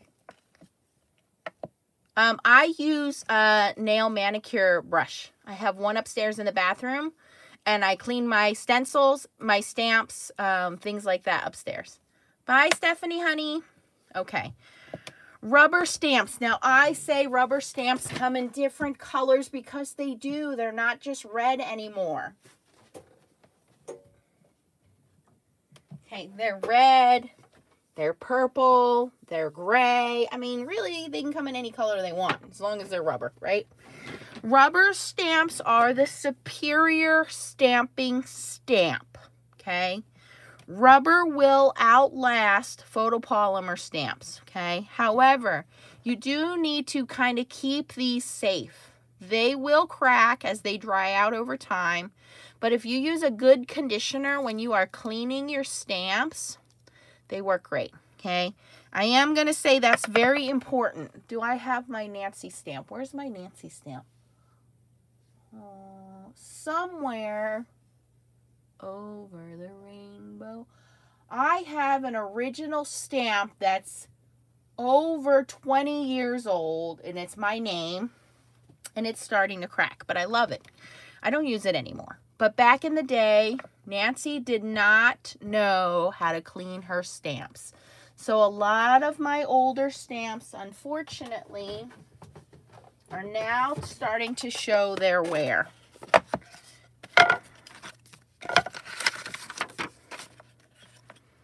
All right, so, oh, that was the example I wanted to give you. Did you hear that?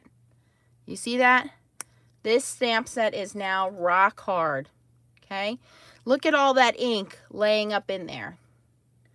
I did not take care of my stamps. When you have older red rubber stamps, you want to use a good stamp cleaner, okay? There are many companies that manufacture stamp cleaner.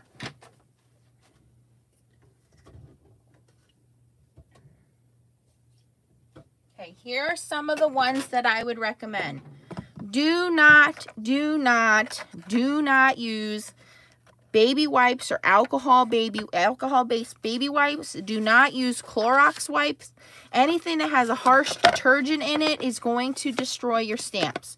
You want a stamp that has a conditioner. Worst case scenario use a little bit of soap and water mild soap and water okay?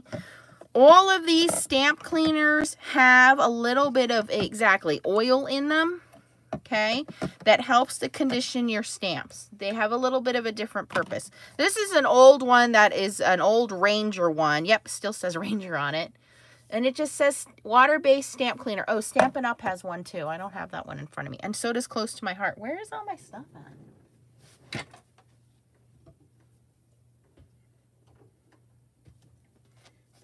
Okay. So these all kind of do the same thing. And the idea back in the day, I keep saying back in the day, is that we would spray them on baby wipes or spray them on a paper towel. Now we use, um, this is our old Stampin' Up! Scrubby. It's just a soft cleaner. What we would used to do is with this old Stampin' Up! Scrubby, which they don't sell anymore, is one side we would spray the cleaner on. We would take our stamp and rub it in on there under those little bristles. And then on this side, you can see the little soapy residue in there. We would, um, yeah, I love it too. I wish they would bring this back. We would dry it. Now, Ranger does sell a brick, a, a little stamping brick like this. I, there's, there's companies out there. But that's how we used to clean our stamps, okay? But now that we've moved to um, using microfiber, you'll see a lot of people use the microfiber rags or the chamois. Um, it's all the same thing.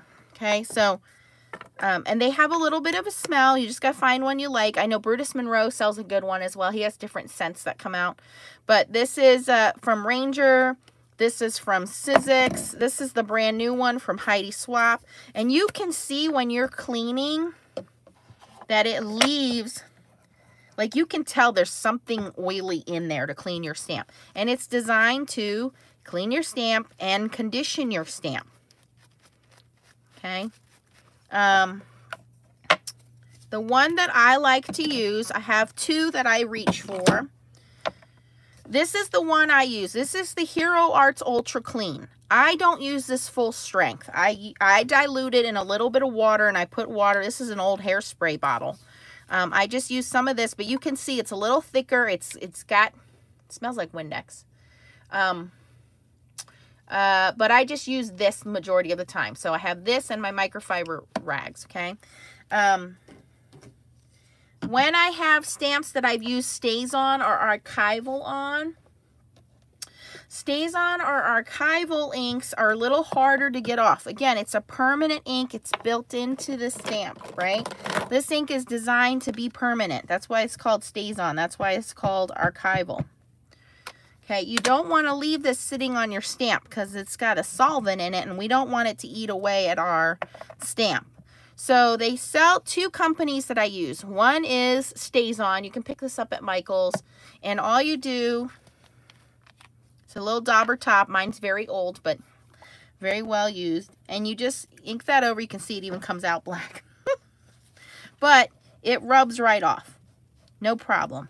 Okay. The other company I found, and I found this at a stamp show, is called Kiss Off Stain Remover. You guys may have used this in your laundry. It's a, like a grease pencil, and I rub that on there. Sometimes you need a little water, but that will usually take it right off.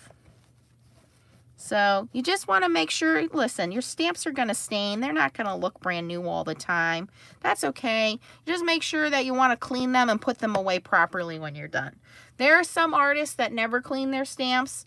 I am not one of those people. I like my stamps clean for the next time I use them, and it prevents cross-contamination. When you go to stamp in your other ink pads and you didn't clean your ink last or stamp last time, you're not going to be happy.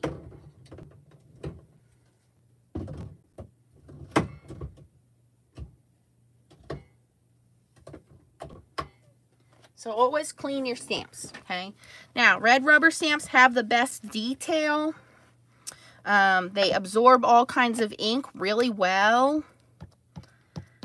They have a little bit of give to them because they usually have a little bit of a spongy background. Now you can buy unmounted stamps that are not cling mounted. They're sold as plain stamps. And then you buy that mounting stuff that I showed you guys yesterday, the cling mount stuff. So here are the Stampscape stamps I ordered. And they came unmounted, which means I just get a strip of rubber with the stamp. And I put these on a thinner cling mount so you can see it doesn't have the sponginess behind it. This is a thicker cling mount. So you can see this is a thicker sponginess. Personal preference. I don't mind the thin cling mount because I use my Misti to stamp or my Tim Holtz to stamp. This is thicker cling mount. If you want to unmount your wooden stamps, a lot of people pull their wooden stamps off. You can mount it on this stuff and then you make yourself a cling stamp. Oh yeah, good point, Stacy. We're going to talk about that. Good idea. And then I just stick it to a piece of acetate and I keep these in my little storage pockets where a lot of people like these um, these uh, old DVD Stampin' Up! cases. You can cling mount these in here too. Okay, I just like keeping mine on a little acetate and then I put them in the um, my little plastic uh, baggie storage bag and then I put them in my little baskets. Okay, so that's the difference between silicone stamps, photopolymer stamps, and red rubber or just plain rubber stamps.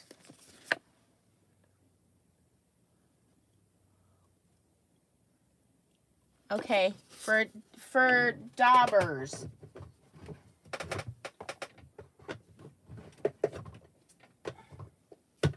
Okay.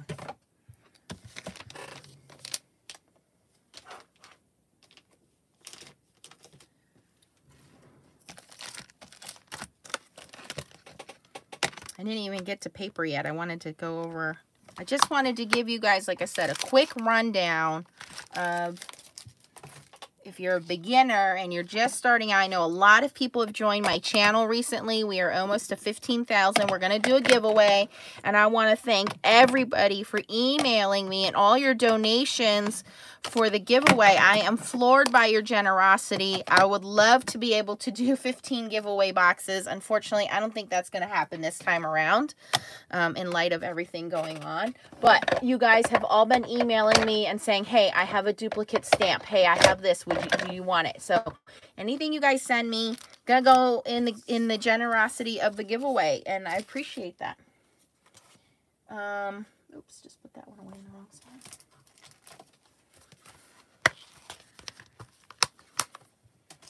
Okay, so let's talk about these little dauber thingies because Miss Stacy was bringing that up. All right. Um, Stacy, do you want to link the Facebook group right to... Yep, I'll link everything. Um, that address, I talked about the address thing earlier, but if you want to link it so they know we're going to do a card exchange and you got to fill your address out.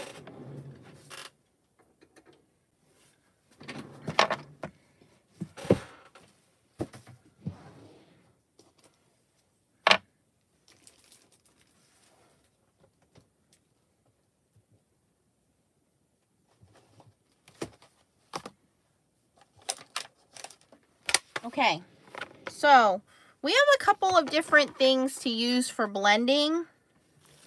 Um, and blending is fun when we're doing backgrounds. And you guys, um, if you've seen my cards and videos, Nancy likes to do sunsets and galaxies and uh, ocean themes and clouds.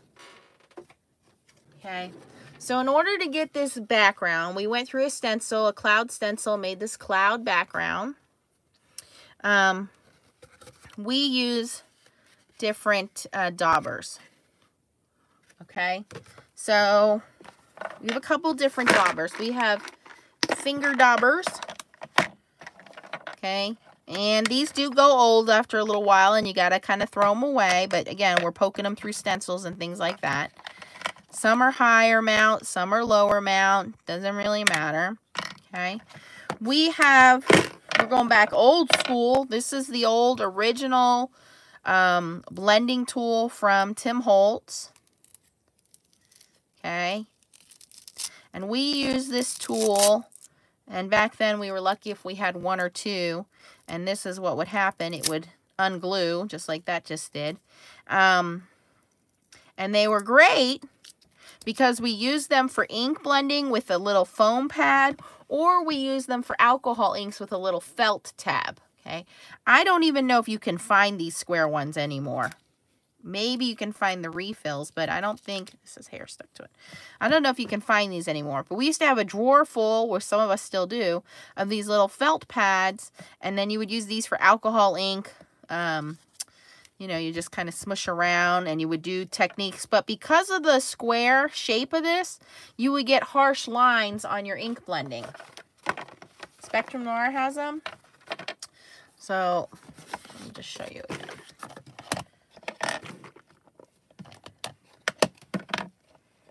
Yeah, it's the only ones I see are these, the felt ones for, for alcohol inks. Oops.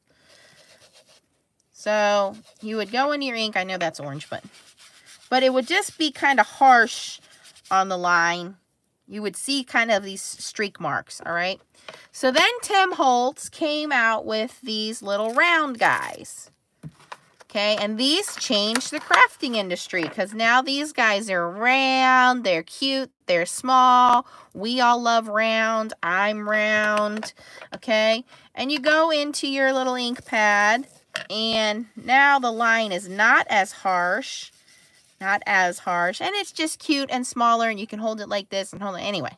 So when he came out with his two different ink companies, ink, ink formulas, Distress Ink and Distress Oxides, he specifically explained, do not mix your daubers, okay? So here's what I did.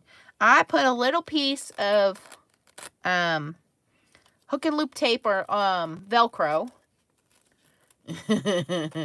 All right. And I put these little guys on the back there. So I know my Distress ink pads you don't want to go back and forth between distress inks and cross-contaminate your ink pad. So distress oxide, distress inks, okay? Um, these I just kind of throw in a drawer, and I have like 10 of these now, so I have one for every color family. So each one has their own dauber. Now, as they start to get old and crusty, the felt starts to come off. You can clean them. You don't have to. I never clean mine. Um, but I keep one for each felt each family. But as the felt starts to pull away from the sponge, then, excuse me, you throw it away and you go to a new one. They sell them in 20-piece packets, okay? And the alcohol ink felt you can also get now for these round daubers, okay? Now, scrapbook.com has kind of moved the lever, moved up the notch here. So this is the old Ranger one or Inkssentials, whatever you want to call it. They both have the same kind of handle. People have made their own. Somebody made some out of old chess pieces, which was really cool. But all it is is just the hard part of Velcro, and then it sticks to felt. So scrapbook.com came out with this domed top. Okay. So the domed top doesn't leave any kind of lines at all.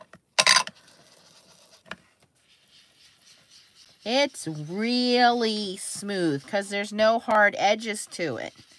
So that's kind of neat. Now, a lot of us have also invested into the makeup brush industry.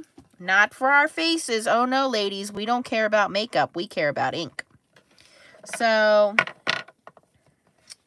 these guys, and the, there are some expensive companies out there that are selling these brushes for $50, $60. Okay, you can go on Amazon and get a whole set for like 10, 20 bucks, you guys. Not that I'm not saying those brushes aren't worth $50, $60. I'm saying I'm not spending 50 or $60 on them. Okay. So this little set here, I got off of Amazon for, I want to say $15. Okay, they all have different heads. And I have started to put washi tape on mine so that I can kind of remember what colors they go to. Um, these came from a pack somewhere at some kind of dollar store. Okay. These came from Five Below. These are called Face One. These are $5 each. So you can see there's a couple different sizes from those. Here's another one. And then here's another one I found. Cheek. I don't know. From some kind of dollar store. But um, they're makeup brushes. They do the exact same thing. But these seem to be a little softer of a blend. So you got to work these a little bit more. It's a little softer of a blend.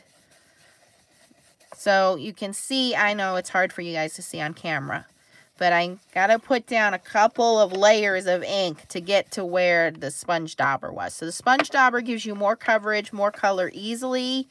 The makeup brushes are just a softer touch at doing it. Okay, so I didn't spend 50 or 60 bucks. Now, I know there's this really cool company. I would love to have them, but again, $50. They got white handles. They got different color ink bristles. They come, you can get this little Lazy Susan to spin it around. Hey, that's cool. I'm not in the crafting uh, beauty contest. I'm in the crafting save my money contest and still get what I want. How many of y'all on that? I know you all just lied too because you spent just like $8 billion on foils. but I still love you guys. all right, so don't cross-contaminate your daubers. Um, different ways you can buy a little spinny thing to store these on. You can throw them in a drawer, whatever you're going to do. But they do come in handy when you're using stencils or when you're doing any kind of ink blending and just doing that kind of stuff. And hey, I, I give these companies credit when something new comes out. Of course, they're going to try to make all the money they can off of it. There's nothing wrong with that. All right. Let's see here. Oh my gosh, 141 people? What? Oh, I'll fix that. Okay. Thank you. Thank you, Sunshine. You can have my car. Do you want the Lexus or the Ford? okay. I want to get into paper. All right. Are we good on ink? Are we good on stamps? Are we good on that all we talked about? Should I carry this to tomorrow? It's 9 o'clock. How about we talk about paper tomorrow? Because I kind of want to give an example of each paper, and I think that'll take a while. So we'll talk about paper and coloring elements tomorrow. How about that? So tomorrow we'll talk about papers. Tomorrow's Saturday, right?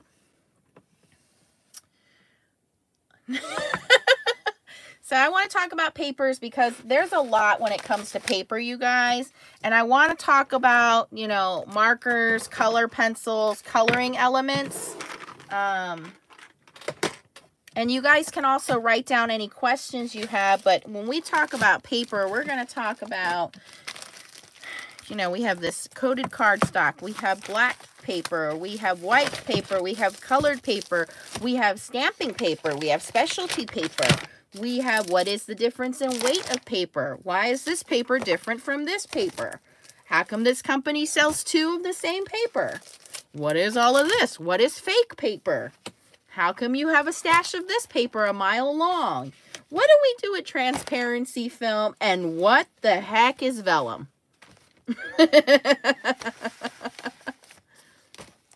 I know it's supposed to wane tomorrow, you guys.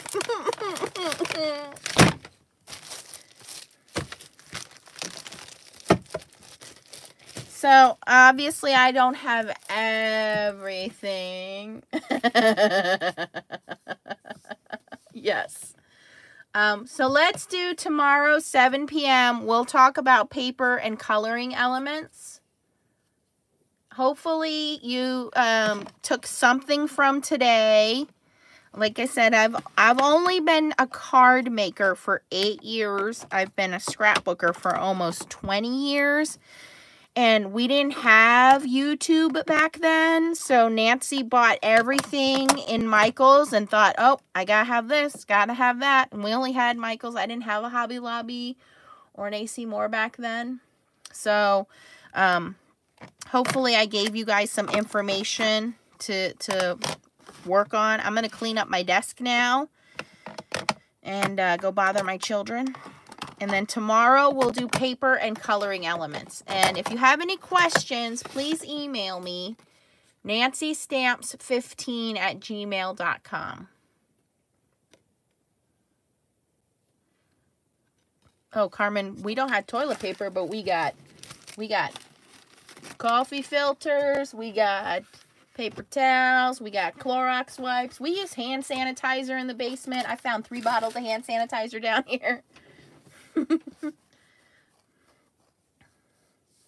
Crayons. Oh, that's a tough one. Remind me, I have gelatos. I have gelatos.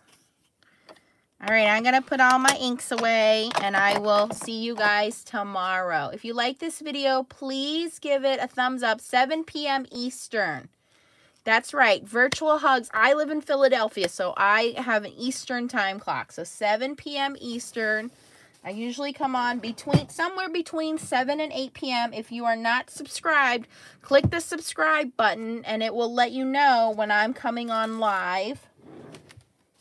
And we've been doing this every night live to keep you guys occupied.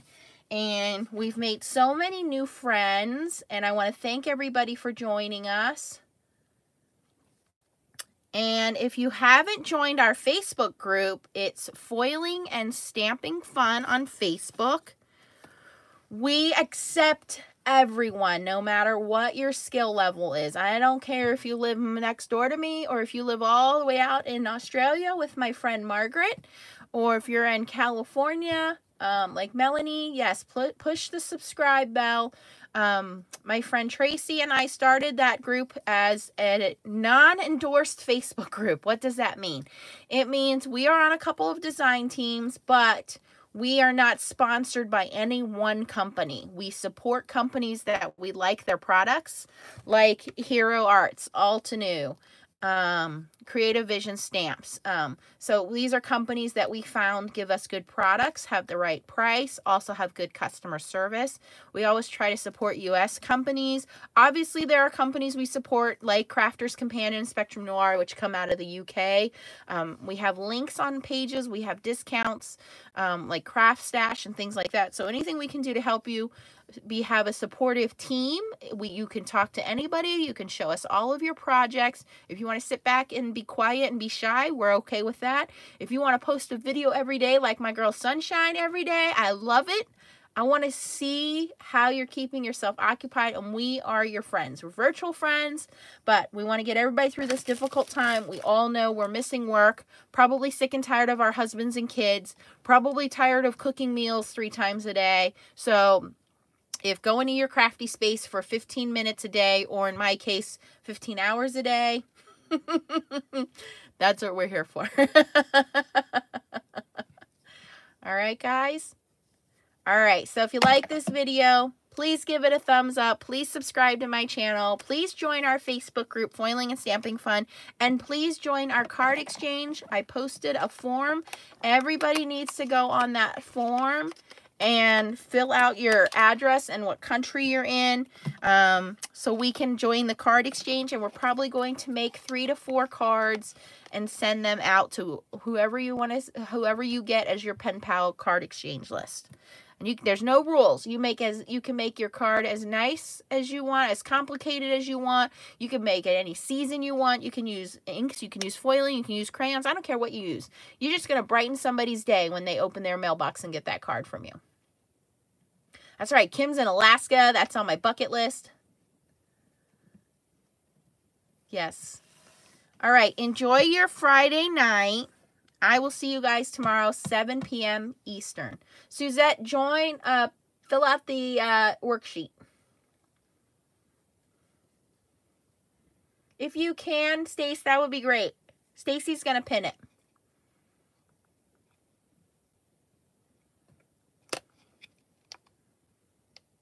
I love you all. Be safe. Be kind. Be supportive. Thank you, Stacy. And share, share, share. We're coming up to 15,000 subscribers. And we want everybody to be part of our fun little group. Okay, bye, guys. Have a good night. Thank you, Gloria.